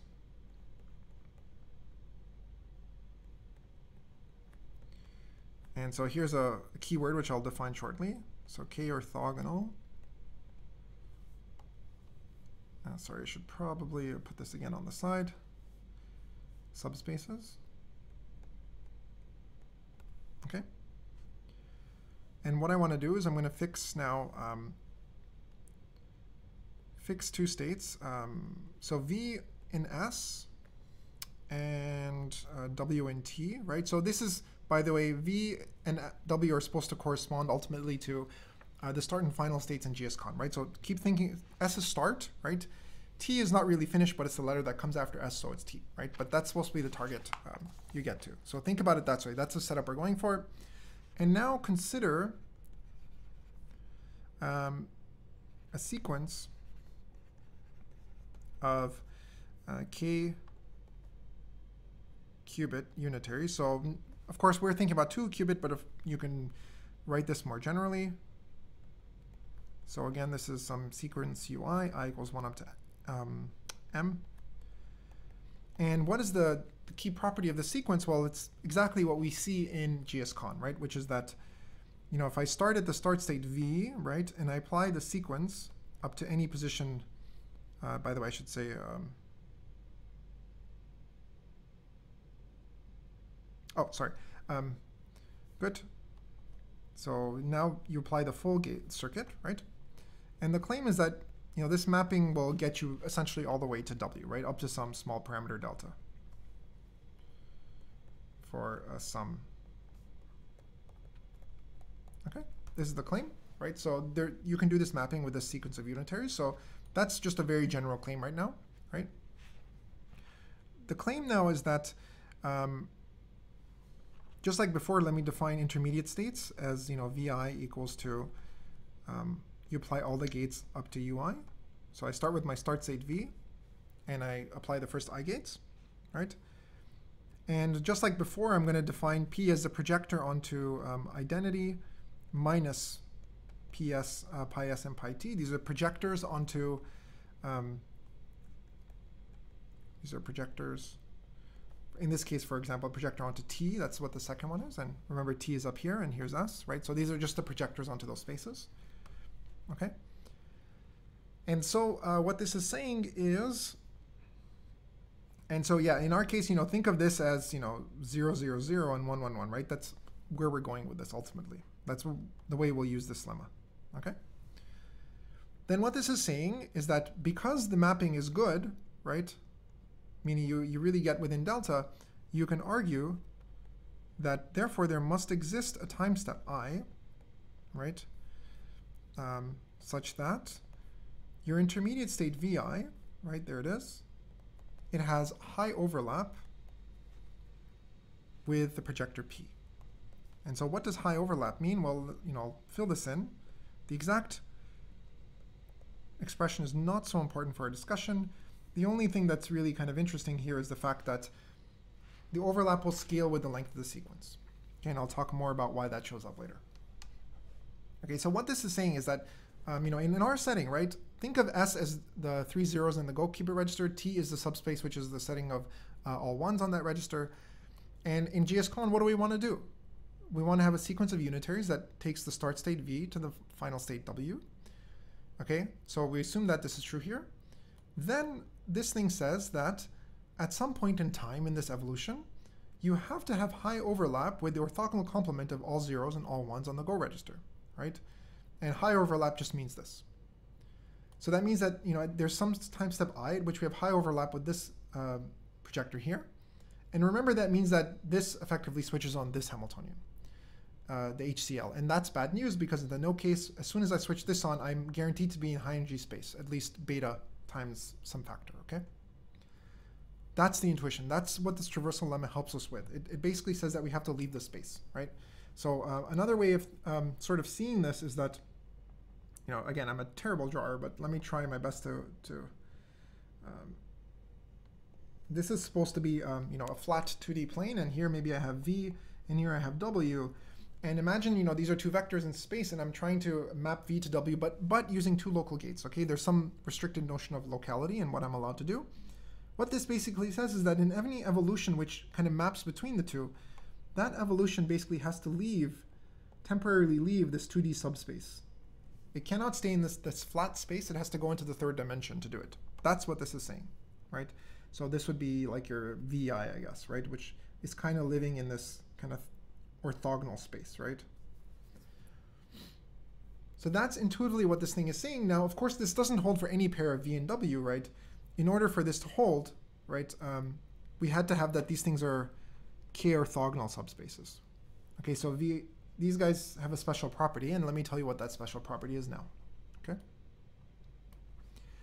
Of course, that special property should have to do with the locality of the unitaries we're applying, right? I'm applying only two qubit gates or k qubit gates. Um, so this property I'm about to write down should somehow depend on that, right? Should leverage that. So k orthogonal. First, we'll define states, and then from that, we'll just get a trivial extension to the definition of a subspace. Okay, so this is definition uh, 18. Okay. Okay, so what is this definition? This says that for k greater than 1. Okay. Uh, where are we? V and W. Um, and again, let me just be clear. These are just n qubit states. Um, so this pair of uh, states is k orthogonal if for all unitaries, uh, for all k qubit unitaries, okay, v, u, w is 0. Okay?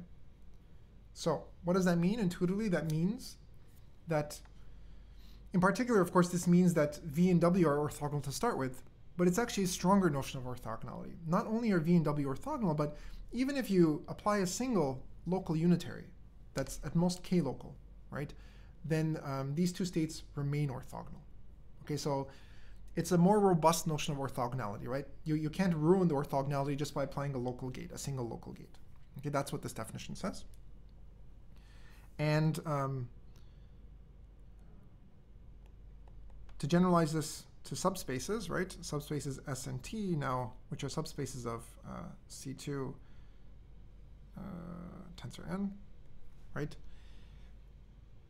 These things are k orthogonal if um, for all pairs of vectors, you know, so I pick any v and s, pick any w and t, right? Doesn't matter which one, right? Um, v and uh, w are k orthogonal. Okay, so this is the, the general definition. Okay, so the whole point is that, you know, this traversal lemma is going to hold if these states W and V are robustly orthogonal in this sense, right? Meaning, you know, I'm only allowed to apply, say, two qubit gates, and it must be the case that V and W are not only orthogonal, but they are orthogonal under any single two qubit gate. Okay, of course, if you apply multiple two qubit gates, eventually you can do this mapping, right? They can't stay orthogonal. But if you just apply one two qubit gate, they remain orthogonal. Okay, so um, they're really orthogonal. Think about it that way.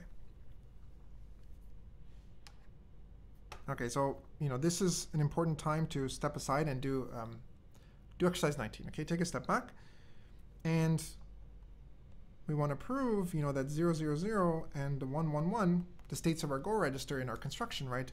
These are two orthogonal, right? So that means that these two states remain orthogonal under any single under any two qubit unitary. And well, this is kind of obvious, right? If I take 000, 0, 0, right? I apply any unitary I like on, say, 1, 2. I mean, it doesn't really matter which pair of qubits I choose, right?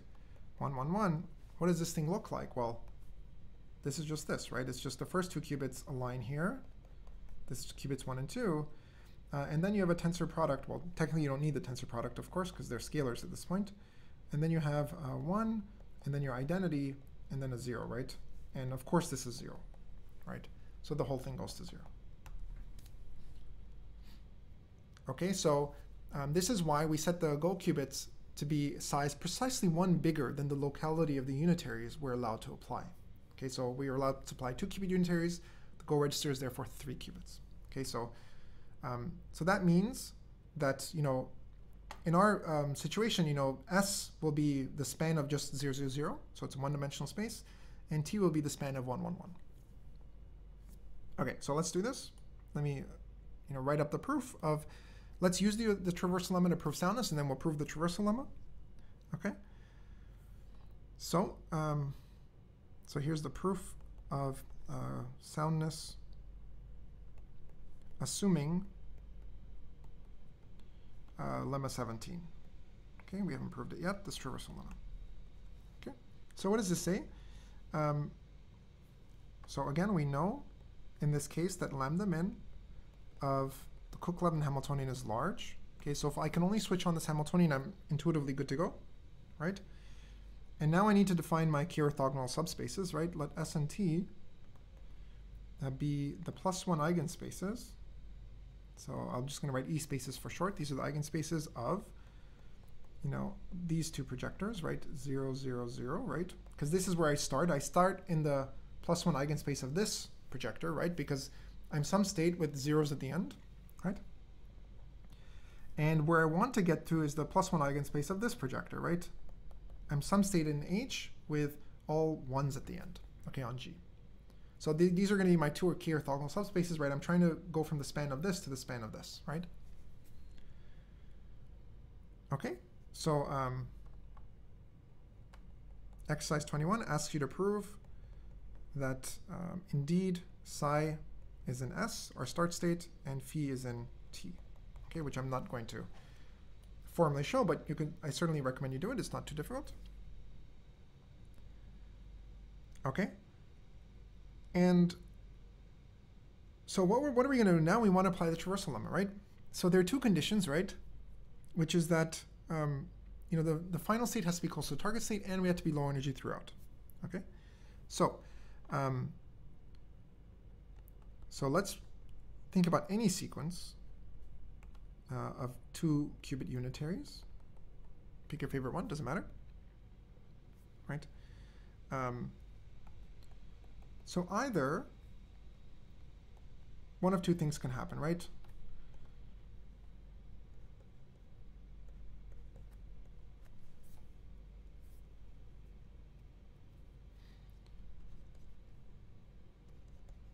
So technically speaking, these are the parameters we put in, but the point here is what? What do I need to, I want to apply the traversal lemma, right? To argue that at some point on the switch space, on the go register, you're going to have high overlap with just with this projector P, right? So what do I need?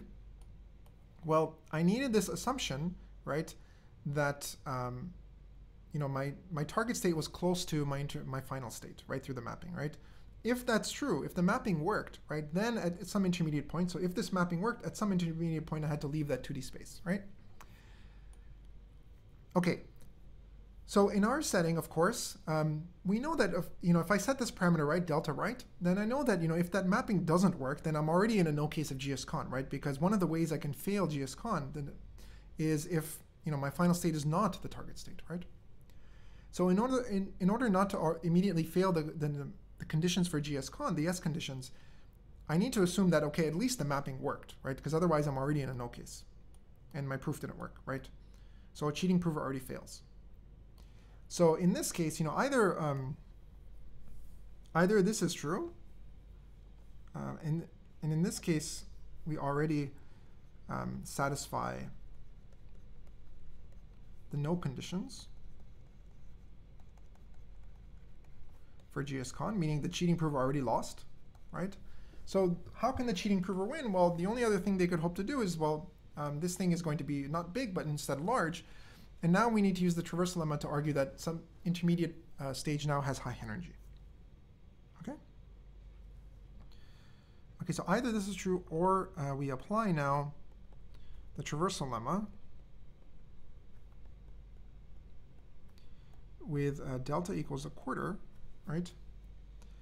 To conclude what? Well, if we apply this lemma, what we'll see is that there exists an I um, such that, so these are my intermediate states psi i and psi i, right? And now I have to be just a bit careful because um, I didn't define my S and T, my k orthogonal subspaces, to just act on the Go register. I really defined them to act on the full space. So the projector I write down now will be slightly different than what I had before. I'll, it'll be some p prime, which I'll define in a second. But this acts on both h and g, right? And um, what the projection lemma will tell us now, or sorry, the traversal lemma, is it'll tell us that this is at least four, 1 over 4m squared.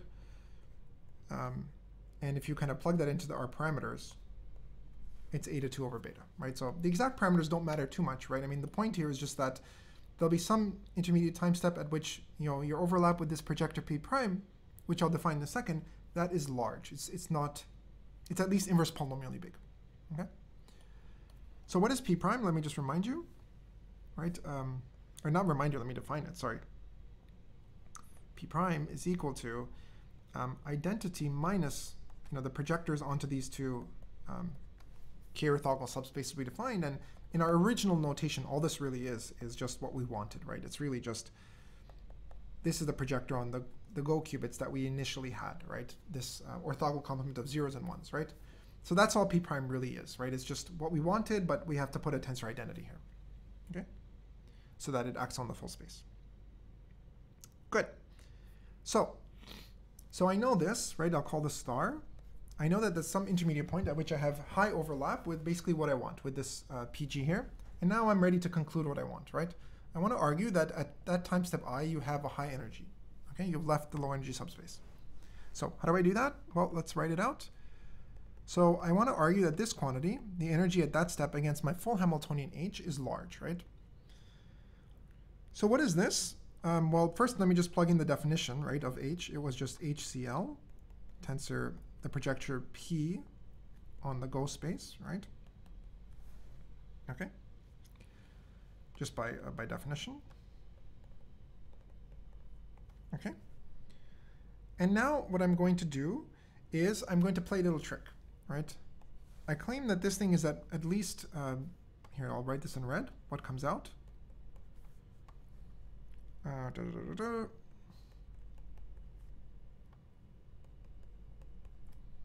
Okay, so what I did is I, if you'll notice, I replaced um, the HCl term with beta identity.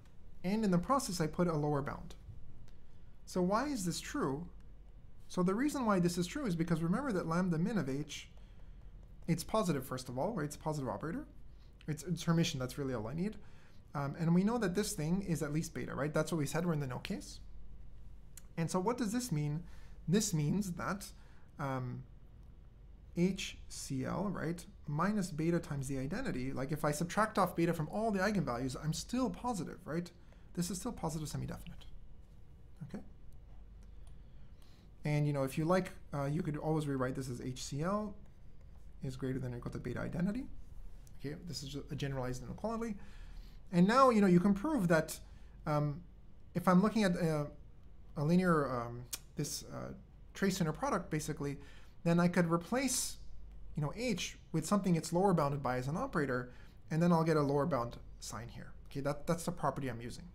Okay, so in other words, the trace of a uh, x is greater than or equal to the trace of uh, bx if a is greater than or equal to b in the positive semi-definite ordering. Okay, I'll let you convince yourself of that fact, but it's a it's a very nice useful fact that makes us very slick. You can just plug identity right in, right? So life becomes good. And by the way, this is exactly what we wanted now because you know this is what we have here, right? Um, so why did I do this? Well, number one, it kicks out the beta I wanted, this high energy bound, right, from the Cook-Levin Hamiltonian. But now I'm also in a position to apply my traversal lemma, right? Because the traversal lemma told me that at time step psi i, I have a high overlap with identity tensor p, right? So let me just plug that in now. So now this is just um, well, first let me just write it this way for completeness, right? This is just the p prime I defined um, up here. So I'm just going to write it that way just to be very clear. But now I know from the traversal lemma that that is at most beta times um, eta 2 over beta. And that's, of course, just eta 2. And this is by star. Okay, that's this one over here. That's it. Okay? Ta-da! So um, that's how we prove that um, in the no case, right? Assuming the traversal lemma holds, then there has to be an intermediate phase at which you have high um, overlap with this uh, the support of the Go space uh, projector, this P, and as soon as you have that, then you're going to have high energy against the, the Hamiltonian H. Okay, this is how you do it. So some very nice tricks in here that are kind of standard, of course, um, that are I strongly recommend you get comfortable with. Okay. Good. So the only thing left is well, how do we prove this traversal lemma, right? And here I'm really going to cheat, um, which I encourage you never to do, of course. Um, but it'll be good cheating, don't worry. I'm going to try and copy this traversal lemma statement so I don't have to rewrite the whole thing. Uh, okay, let's try it. So, nope, that didn't work. Ah, I guess I have to do it with my pen maybe. Yes, there we go. All right. So what do we want to say? I'll try and copy the full thing here, including this definition if I can. All right, good. Work? Come on, tell me it worked. Perfect. Okay, now I will do a, a copy. Hopefully this will work now.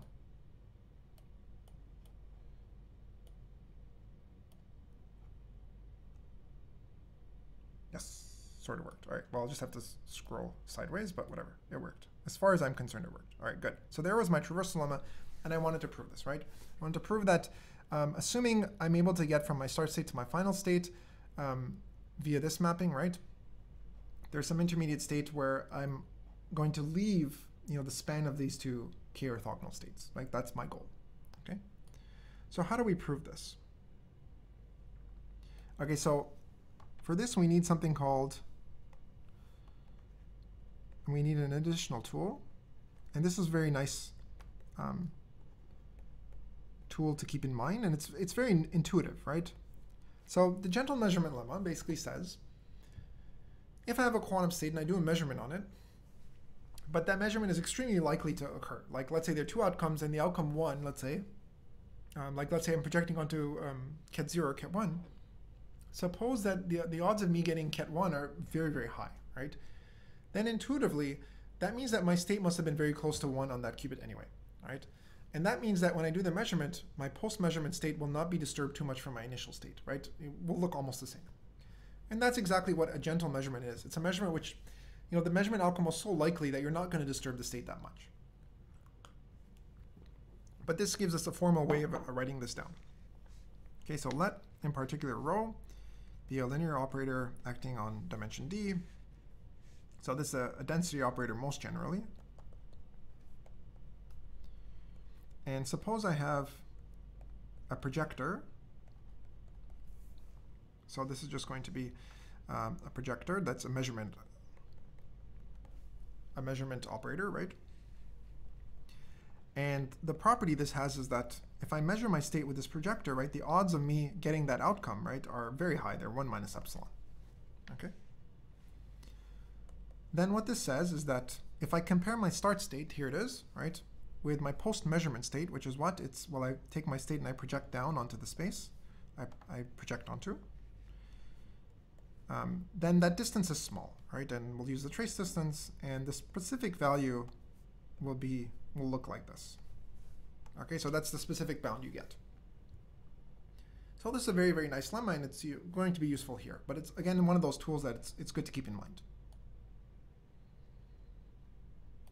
Okay. So let me write down the proof first, okay? And again, it's slightly counterintuitive maybe the first time you see it, but once you get it, um, hopefully it will be clear. Um, but let's just write down the proof and I'll try and give the intuition as we go as usual. Proof of uh, lemma 17. Okay, so always state your proof technique first if you can. Proof by contradiction, right? So let's suppose, right, to the contrary, right, uh, suppose that um, for all time steps, the claim is false, meaning um, our intermediate state VI of this mapping, right, has a small overlap with the projector P, right? So small in particular will mean, um, you know, whatever was in the, the claim, right? Here's what was in the claim, uh, da, da, da, 2m squared. And, you know, for brevity, I'm just going to call this kappa from now on, or just k if you prefer. Okay, I, I just don't want to write that over and over again, right?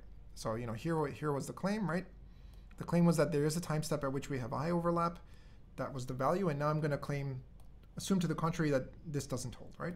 So assume that for all time steps, you know, um, we're, you know, have a very small overlap with P, okay? Good. And now we're going to apply this um, thought experiment.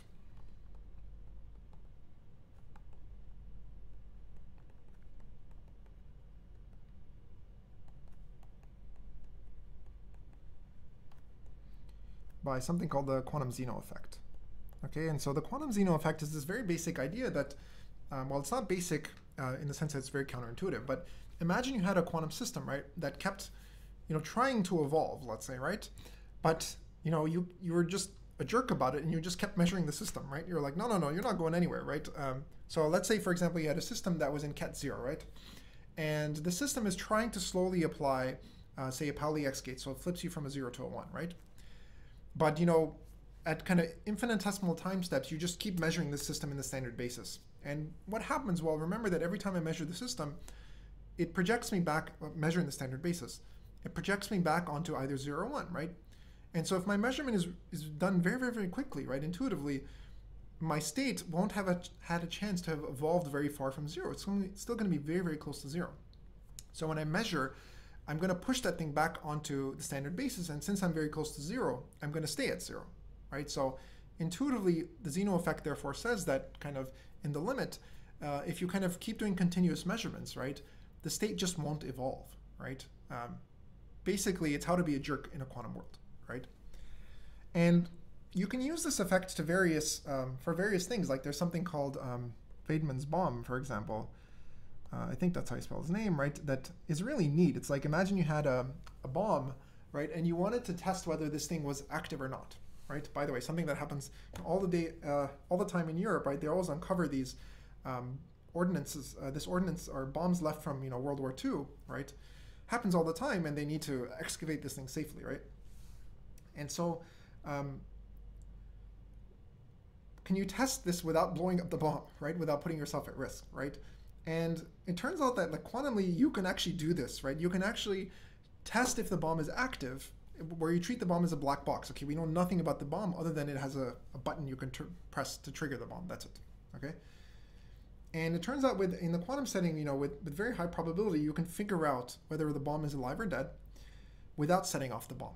Okay, classically, I mean, it seems, at least to me, kind of obvious that you can't achieve this, right? If, assuming all you can do is just push the button or not. Like, how are you going to know with probably better than 50%, right? Okay. Anyway, so the Zeno effect is neat. And we're going to use the same idea. We're going to consider an evolution, right? Well, we know what our evolution is, right? Our evolution is the unitaries, right? You're applying U1, U2, U3 to our start state to get to our final state. But we're going to be jerks, right? We're going to keep measuring after each unitary. We're going to try and uh, kind of collapse things um, back to where we started. That's how uh, this relates to the Zeno effect. Okay, and so here's the basic idea. Um, imagine that after each UI is applied, right, we, um, we measure um, the state VI, right? This is the state uh, we get um, after applying U1 through UI via measurement. And maybe I'll put this in red. It's going to be um, pi and identity minus pi. Okay, and what is pi here, right? Equivalently, you can think of this as um, identity minus p and p. Right, I'm going to define, um, so of course this basically means that um, pi is being defined here as i, I minus p. Um, because that's the one I'm going to care about. What, what are my odds of projecting onto that? So that's why I'm kind of redefining things slightly. But it's really the same thing as before, right? P is this um, magical projector of which I know I have low overlap, right? So um, Okay, so this is the idea. After every time I apply UI, right, I'm going to apply this measurement. And so to analyze this, let's define a pair of sequences. Okay, so we have two sequences. Number one, I'm going to have the sequence uh, vi prime now. And what is this? This is what? This basically is you apply the full circuit up to step i. So you give me um, everything up to step i. And now you only do the measurement for the first time in the ith step. So you project onto uh, pi. And remember, this is also just i minus p if you like. Okay. Okay, and this is for any i and m. You could define this. Okay, so that means you don't do the measurement right away. You wait until the ith time step. And now, um, now comes the jerk version, which is um, you keep doing the measurement after every time step. Okay, so what happens if, um, so first let me just do it in the general case, but there's also a base case, right? So this is vi double prime. And here the idea is you take the previous state and you apply the next gate, but again you measure. Okay, and here note that I have a double prime here, so um, this is all done recursively, this measurement, right? So um, this is going to denote the sequence of states you get if you were to always do a unitary measure, unitary measure, unitary measure, unitary measure. Okay, so this is kind of like um, we apply, you know, if we think of each of these as being a unitary, u, we buy, apply a bunch of unitaries, and only here maybe uh, then I measure. Right? Uh, maybe this is the ith step, and here um, you know I do a unitary, and then here I just and then I measure right away pi each time. Okay. That's the difference. And then we do a unitary, and then we measure. Of course, this picture is not accurate because when you do a measurement um, here, you're going to disturb your state. So technically, the state will move. And that's going to be important in our, in our analysis. Okay, so this is um, the recursive case when i is at least 2. And the very first time, whoops, vi, uh, sorry, sorry, v1 double prime is going to be equal to, I'm going to define it as just v1 prime. Okay, and what is v1 prime? Well, it's just basically what you think, which is, uh, it's just this thing, right? You apply the first gate, it's, it's literally this picture. You apply the first unitary and then you measure right away. Whoops. So that is um, the first uh, v1 double prime. Okay, so the point now is I'm going to compare these two sequences of states we can possibly get in this thought experiment, and I want to arrive at a contradiction. Okay?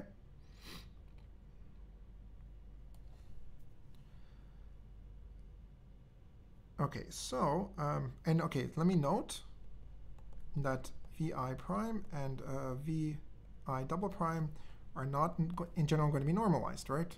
It doesn't matter, but it's good to, to make sense of this, right? Or to, to note it, right? Because I'm doing projections and I'm not renormalizing, okay? And it doesn't matter, right? Okay, so there are two steps to this, right? The first step is what we're going to prove is that um, for all i, um, if I did the true evolution, right, minus uh, this evolution where I keep measuring via the Zeno effect, right, this thing is small. It's going to be at most 2. Um, here's the i, by the way. This is the ith state. 2i, and kappa was that funny parameter, which, you know, doesn't matter right now, right? So the point is that, you know, um, after i steps, you know, you're, if you just did the, the proper evolution with no measurements versus the version where you, you keep measuring, right? Then the claim is that we're not going to be too far off, actually. So the measurements shouldn't disturb us too much. So intuitively, why should this be true, right? The reason is because we're assuming, right, at each step, for sake of contradiction, that your overlap with p is very, very small. Okay, that's what we're assuming. It's smaller than kappa. Okay, so that means that your overlap with i minus p is large, right? Those are the only two outcomes. So in other words, your overlap with pi is large. Okay, so what that means is that, you know, when I apply u here, right, my overlap with pi is large, right? So that means that the gentle measurement says, gentle measurement lemma says, if I have a state that my overlap with the measurement operator pi is large, then when I measure pi, I'm not going to disturb my state too much, okay? So I measure pi here, this doesn't change that much, right? So I apply the next u and I measure pi again, well, again, um, I know that intuitively, you know, I'm not going to be, I'm always going to have a high overlap with pi, right? Um, well, okay, technically speaking, we have to use a triangle inequality here, but the point is that we can prove that by induction that at every step, basically, you're always kind of close to this space that pi will project on. So every measurement we make, the gentle measurement lemma will tell us that we won't disturb the state too much. And so that means that um, whether I had done the, these projections here or had just done a big unit, uh, all the unitaries without measuring, the end states will be pretty close to where uh, we should have gotten, basically. So that's the first um, claim. And now let's prove this, okay? So base case, i equals to 1. So what do I know? Well, I know that by definition, um, right, I'm trying to prove something about uh, v1 prime. I'm trying to prove something about v with no primes, v1 with no primes, and v v1 double prime, right? So I know here that v1 double prime just equals to v1 prime. That was just the definition right here. That was the base case definition here. Okay. And, um, okay. So since I know that my state v1 is at most kappa, this thing, right? This is just by assumption. That was, uh, here, let me give this a name. This is double star. That was just our assumption, right, for contradiction. So this is uh, by double star. Right, so then since this is true, right, um, then what I know is that therefore um, the trace of pi right, which is identity minus p, right? So this is just identity minus p, let's be clear, of v1, uh, v1, uh, v1, v1, uh, is large, right, is at least 1 minus kappa, right? And so now I can apply this gentle measurement lemma, right? So exercise uh, 23 says that prove that this is true, that the gentle measurement lemma implies that therefore the distance therefore between um, v1 and um, v1 double prime is small, is at least strictly smaller than 2 square root kappa. Okay? So, I mean, intuitively, this is just because, you know, I'm comparing v1 to v1 double prime, which is just v1 with a single prime, and that just meant that um, it's the same thing as v1, except you did one measurement, but the measurement was highly likely to succeed. So, you know, gentle measurement lemma will more or less immediately give us this claim. Okay, so that's the base case. And now for the inductive case, like that's this base case right here, right? When I do this first measurement, I'll slightly perturb my state a bit, and now I rinse and repeat, right? And the point is, of course, every time I do this, I'll pick up a small error. So the errors will add up, right? But the point is that each error is small relative to the number of steps, m, right? So that um, because of this, the errors will, that we accumulate will be sufficiently small that when we're done with these uh, many measurements, we're still going to be approximately where we should have been if we hadn't made any measurements. That's the basic idea. So here's the inductive case. So let's assume that, um, let me give my induction hypothesis a name uh, right here. So let's call this uh, star, star, star. Okay, assume that this uh, induction hypothesis holds for 1 is at most i, uh, which is at least j minus 1. So we prove for um, i equals to j, right? Standard induction setup that you learn in, well, at least I learned it, I think in first year university, I don't exactly remember now. Okay, so what do we have then? right? So what I want to do now is I wanted to say something about this thing, right? Now I'm talking about Vj, right? Vj minus uh, Vj double prime, Vj double prime, right? And remember, I want to show that this distance is small, and I want to do it using the induction hypothesis. So what am I going to do? Well, the problem is that, you know, a priori, I don't know the difference. You know, these two states are quite different looking, right? One of them, Vi, right, has no measurements at all. And this one has measurements at every single time step, right? That's a bit annoying. So what I'm instead going to do is I'm instead going to um, apply the triangle inequality to break this up into and introduce an intermediary term, which will be the single prime states, which now have um, at least a few more measurements kind of thrown in between, right? So this is trace distance this, trace distance of Vj prime minus Vj double prime.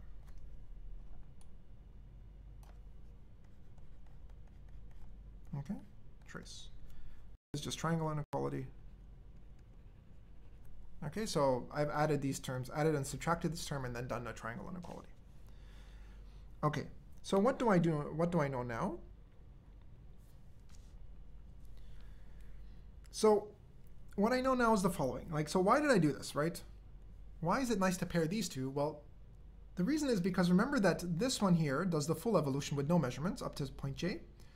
And this one does the full evolution and only does a single measurement at the very end. Okay? So that means that, you know, I can apply my initial assumption, right? My initial assumption said that, uh, remember that at each time step, you know, my overlap with p is small, it's at most kappa. And so, you know, I only, I'm only doing one measurement here at the very end here. And so I could apply the gentle measurement lemma right away to this thing. So maybe I'll move things over to give me more space. This is going to be strictly smaller than 2 square root kappa. And the second term I'm just going to leave alone for now. Um,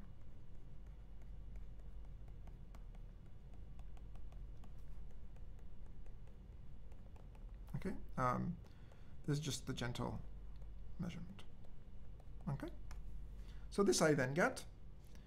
And now what I'm going to do is I'm going to um, strip off the last, I, want to use a, an induction hypothesis, right? So what does that mean? That means that now for this term, right, I need to strip off the, the very last thing that happened, right? Which is a, a unitary and possibly a measurement, right? Um, and I want to have a j minus 1. So let's just do that. So I'm just, this is just a rewriting. I'm not doing anything uh, fancy here. If you strip this off, what does, what's vj prime? Well, what is that? That's just vj minus 1, meaning no measurements. You just do the first j minus 1 unitaries. And then you apply um, the jth unitary, and you do one measurement at the end. Right? That's, that's what, um, by definition, that's what this was. Okay? And, well, what about vj double prime? Well, by definition, that was what? Well, that was um, the same thing, vj minus 1 double prime, vj minus 1 double prime, right? To get from vj minus 1 double prime to vj double prime, right, what did we do? Well, we just applied the next unitary and the next measurement, right? That was the definition. So I could rewrite these now in terms of j minus 1, which is what I wanted, because now I'm in a position to apply the induction hypothesis. I need to, of course, conjugate things properly, okay, just by definition. Okay. And now I'm going to um, start playing some games with norms. Okay. So, I mean, there are various ways you can prove this uh, lemma here, right? Um, sorry. So the 2 square root k is not going anywhere, right? And so now I want to argue that this is at most um, the norm of, I want to get rid of the projector and the unitary, right?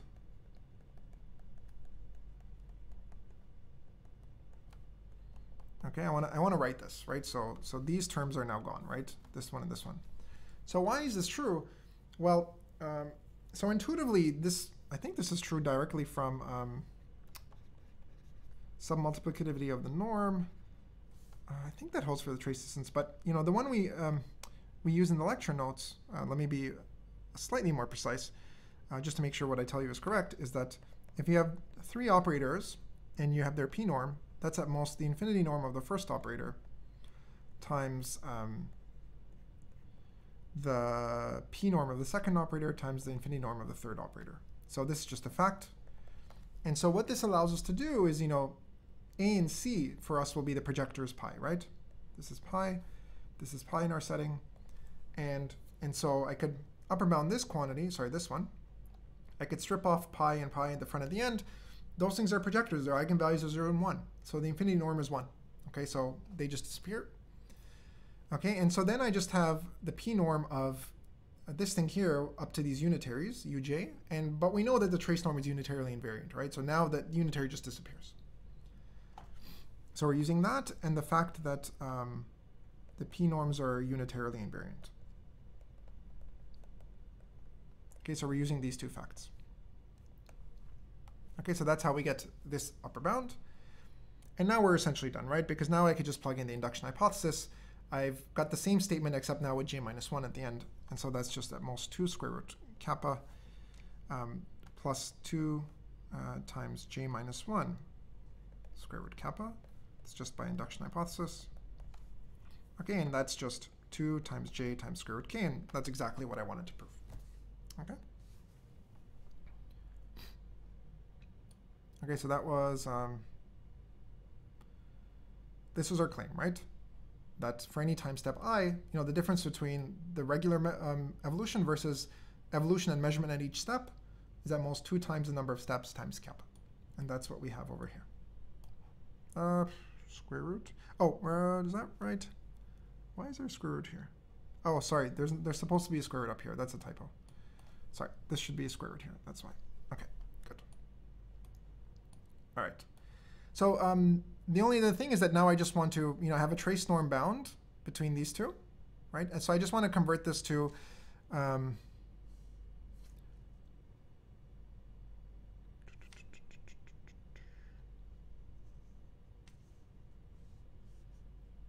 Okay, yeah, so then I just want to argue that, um, okay, this just says that if I follow the regular evolution versus the measurement at each step evolution, they won't be so far off. And what was my ultimate goal? Well, my ultimate goal was that this thing was supposed to get to W, right? This thing had a target in mind. So this was supposed to go to W, and well, this one's not too far off, so this one should also be close to W now, right? That's uh, the last thing to do, and I'm just going to leave that to an exercise. Um, so use now this thing we just proved to show that, um, therefore, this kind of funny perturbed thing, right, where we measure and do a unitary evolution at each step, this thing, is also going to be close to the target state. So this thing, um, and all I need is that this thing is strictly smaller than 1. Okay, that's it for the contradiction. Okay, so um, that's it. Okay, so in other words, in this thought experiment, if I measure it after each step, I'm still going to be, you know, have some nice uh, distance to, to the target, right? Nice meaning smaller than one trace distance. Okay. Step two is the contradiction, and you know, now we're just basically going to apply the definition of k orthogonality. Right, so here's the point, right? So what we did before was this, right? We said, let's suppose we started at V and we wanted to kind of rotate down into W. Let's think about this picture again, right? And again, I'm just, these are just intuitive sketches, right? Um, and so we apply this, you know, let's say U1, right? And then we measure, right? That was kind of this funny game we played to get the states um, VI double prime. And the whole idea is that, well, by assumption, we were saying that, uh, you know, when I do this unitary and I measure, I'm, I'm very close to that subspace anyway, so therefore the measurement won't change me too much right?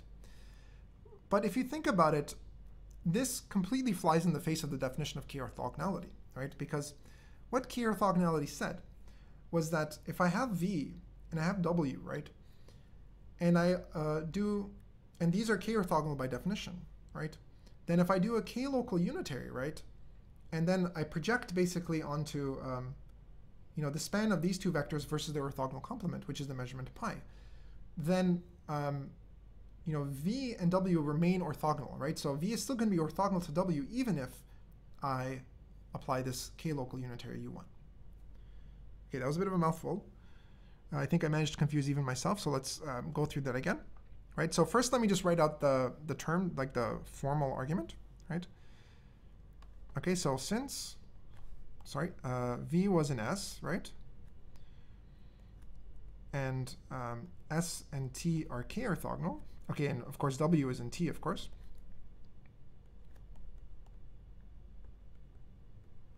So in, in this particular case, I should say two orthogonal because that's kind of our setting, right? Okay, and remember S and T where this is where the go register is all zeros, this is where the go register is all ones, right? Okay, um, we have that for all i and m, Okay, so um, this is the magic point. Okay, so if we play this game where we always measure after each step, we're still in S, right? So why is this true? Well, because I'm starting here at V, right? I'm applying a single two qubit gate, right? And then I'm measuring onto pi. And what is pi? Let me just rewrite out what pi is. Pi is identity minus p, right? Um, and what is that? That was just going to be equal to the, the projection onto 0, 0, 0 plus 1, 1, 1, right? That's what identity minus p was. Okay, and so for us, v is, think of it as 0, 0, 0. This is uh, 1, 1, 1, right? And so what's going on is, you know, I apply a single qubit unitary. It's just two qubits. Sorry, it's a two qubit unitary. And then I push you down onto 0, 0, and 1, 1, 1 versus orthogonal complement, right? And the point here is that uh, when I do this, right, um, I know that, you know, these two states are still going to be orthogonal, right? So the only state that you can um, have overlap with at this point is this state right here, right? Um, you certainly cannot project onto this output outcome, right? Oh, yeah, okay, sorry. So, you know, I have some vector, it's in some higher dimensional space, I'm pushing you down onto this 2D space, right? And now the question is, where in this 2D space do you live, right? So I have this vector, um, this thing here. You can imagine it coming out of the paper if you like, right? And now I'm, I'm squishing it back down into this 2D subspace, right? So, and now there are only two components here, either 0, 0, 0 or 1, 1, 1. Okay, that's what we're projecting onto. But the problem is, the question is, what is your overlap on this? I claim the overlap is 0. Why is the overlap 0? Well, we just applied a two-local gate. And by definition of two orthogonality, if I apply two, or, two local gate, this thing will still be orthogonal to W. That was the definition of K orthogonality. So if I squish you back down onto this 2D plane, right, then you cannot have any overlap with W. All your overlap is on V. You're not a unit vector, but who cares, right? That doesn't matter, right? So that's what this is saying. Since um, V and W are two orthogonal, right? So that's the key observation. And that's essentially the crux of the contradiction, right? Because now we just play the same game over and over again, right? I apply U, right? I measure. I push you down onto this 2D subspace. Because you're k orthogonal, that U will you'll still be orthogonal to W, so you'll kind of reset back to V. And now we repeat. Now you apply the next unitary. It's also a two qubit gate. You're going to move over here. I'm going to do a projection. I'm going to push you back onto V. And it's going to keep doing the same thing over and over again. Right? So this means that at the very end, when I keep doing this weird evolution where I do the evolution and I measure, right? At the end, you're always orthogonal to W. I keep pushing you back. I'm a jerk, right? This is what I do, right? I always push you back to your start state. And so what does this mean? This implies that the one norm, the distance between, um, sorry, this is a V, not a W, of this funny measured state, right, versus my true target, this is just going to equal to 1 plus the norm of v double prime. And this will be, of course, at least 1 because, well, a norm is always non-negative, right?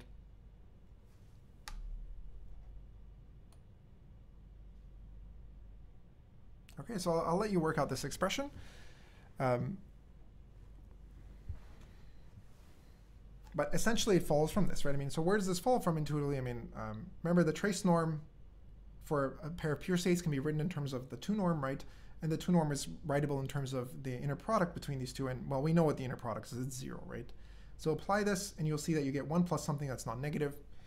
Uh, boom, we have a contradiction, right? This, um, this, trace inner, uh, this trace distance is at least one, but here we said that the trace distance is strictly smaller than one. Contradiction. Haha. -ha. Okay, now I get to draw four stars. Um, so this is a contradiction.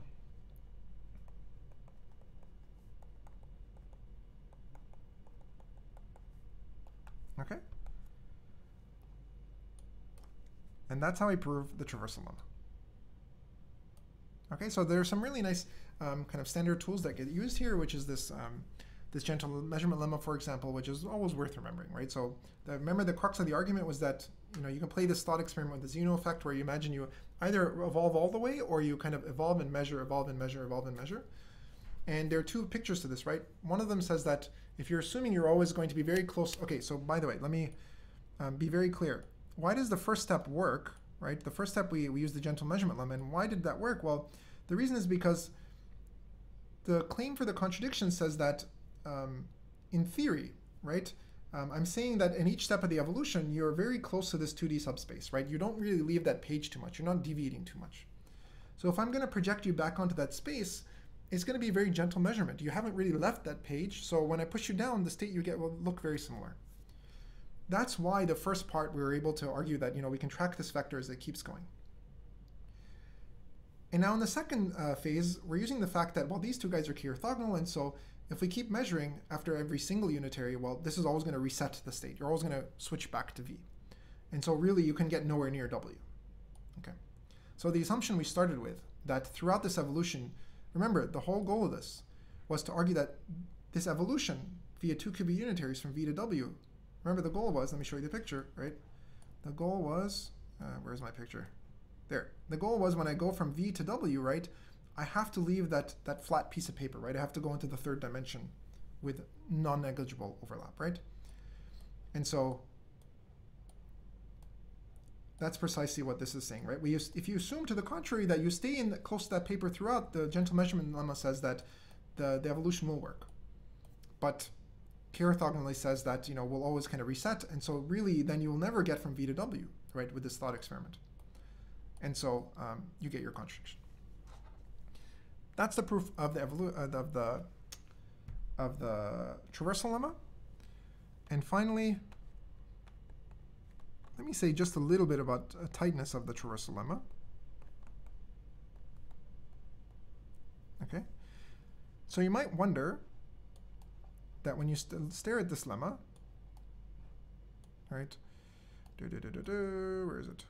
Yeah, um, at this lemma, we said that there exists some point, intermediate point, at which you leave this paper and your overlap with this orthogonal space scales like 1 over the number of time steps um, UI you're applying. So do you really need this 1 over m? It seems kind of odd, right? The answer is yes. And you know, when you see the answer, like when I give you the sketch for the intuition as to why it's yes, then you know, I think at least it makes good sense, right? So here's you know a theorem you can state. We will not prove it, but I'll very briefly sketch the intuition, which will be wholly inaccurate, but it will give you the idea.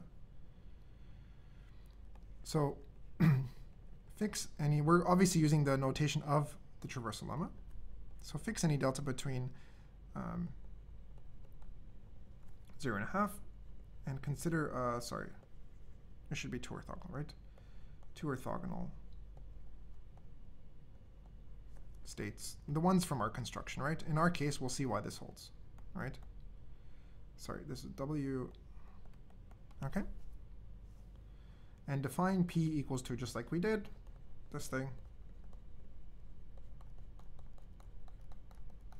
Okay. Then there exists uh, a sequence of UIs, right, from i equals to 1 up to m, okay? And these are um, uh, two local gates, of course, such that for all i, um, vi of p of vi is uh, smaller than or equal to delta if m uh, is in order 1 over delta squared. Um, and of course, um, ui um, maps uh, v to w perfectly in this case. Okay, so what's the point here? The point here is the following, right? Suppose you want to play this game where at any point in time, right, you're, you know, delta kind of close to that 2D sheet of paper. You don't deviate from it too much, right? You can pick delta. Then what this says is that I don't care what delta is, right? I can scale up my number of time steps so that I take smaller and smaller steps, basically, it turns out. And um, then I could satisfy what you want. You can stay very close to the sheet of paper if you want. As long as I'm allowed to take 1 over delta squared steps, we can do it. Okay? And this, of course, means that um, you know the bound of the traversal lemma really does need to scale with the number of time steps. Okay, so what's the proof intuition? Again, this is totally inaccurate, but it gives you the idea, right? Suppose I want to play this game where um, you know it, I'm not going to deviate from what's in the notes, but suppose again, let's just do this, right?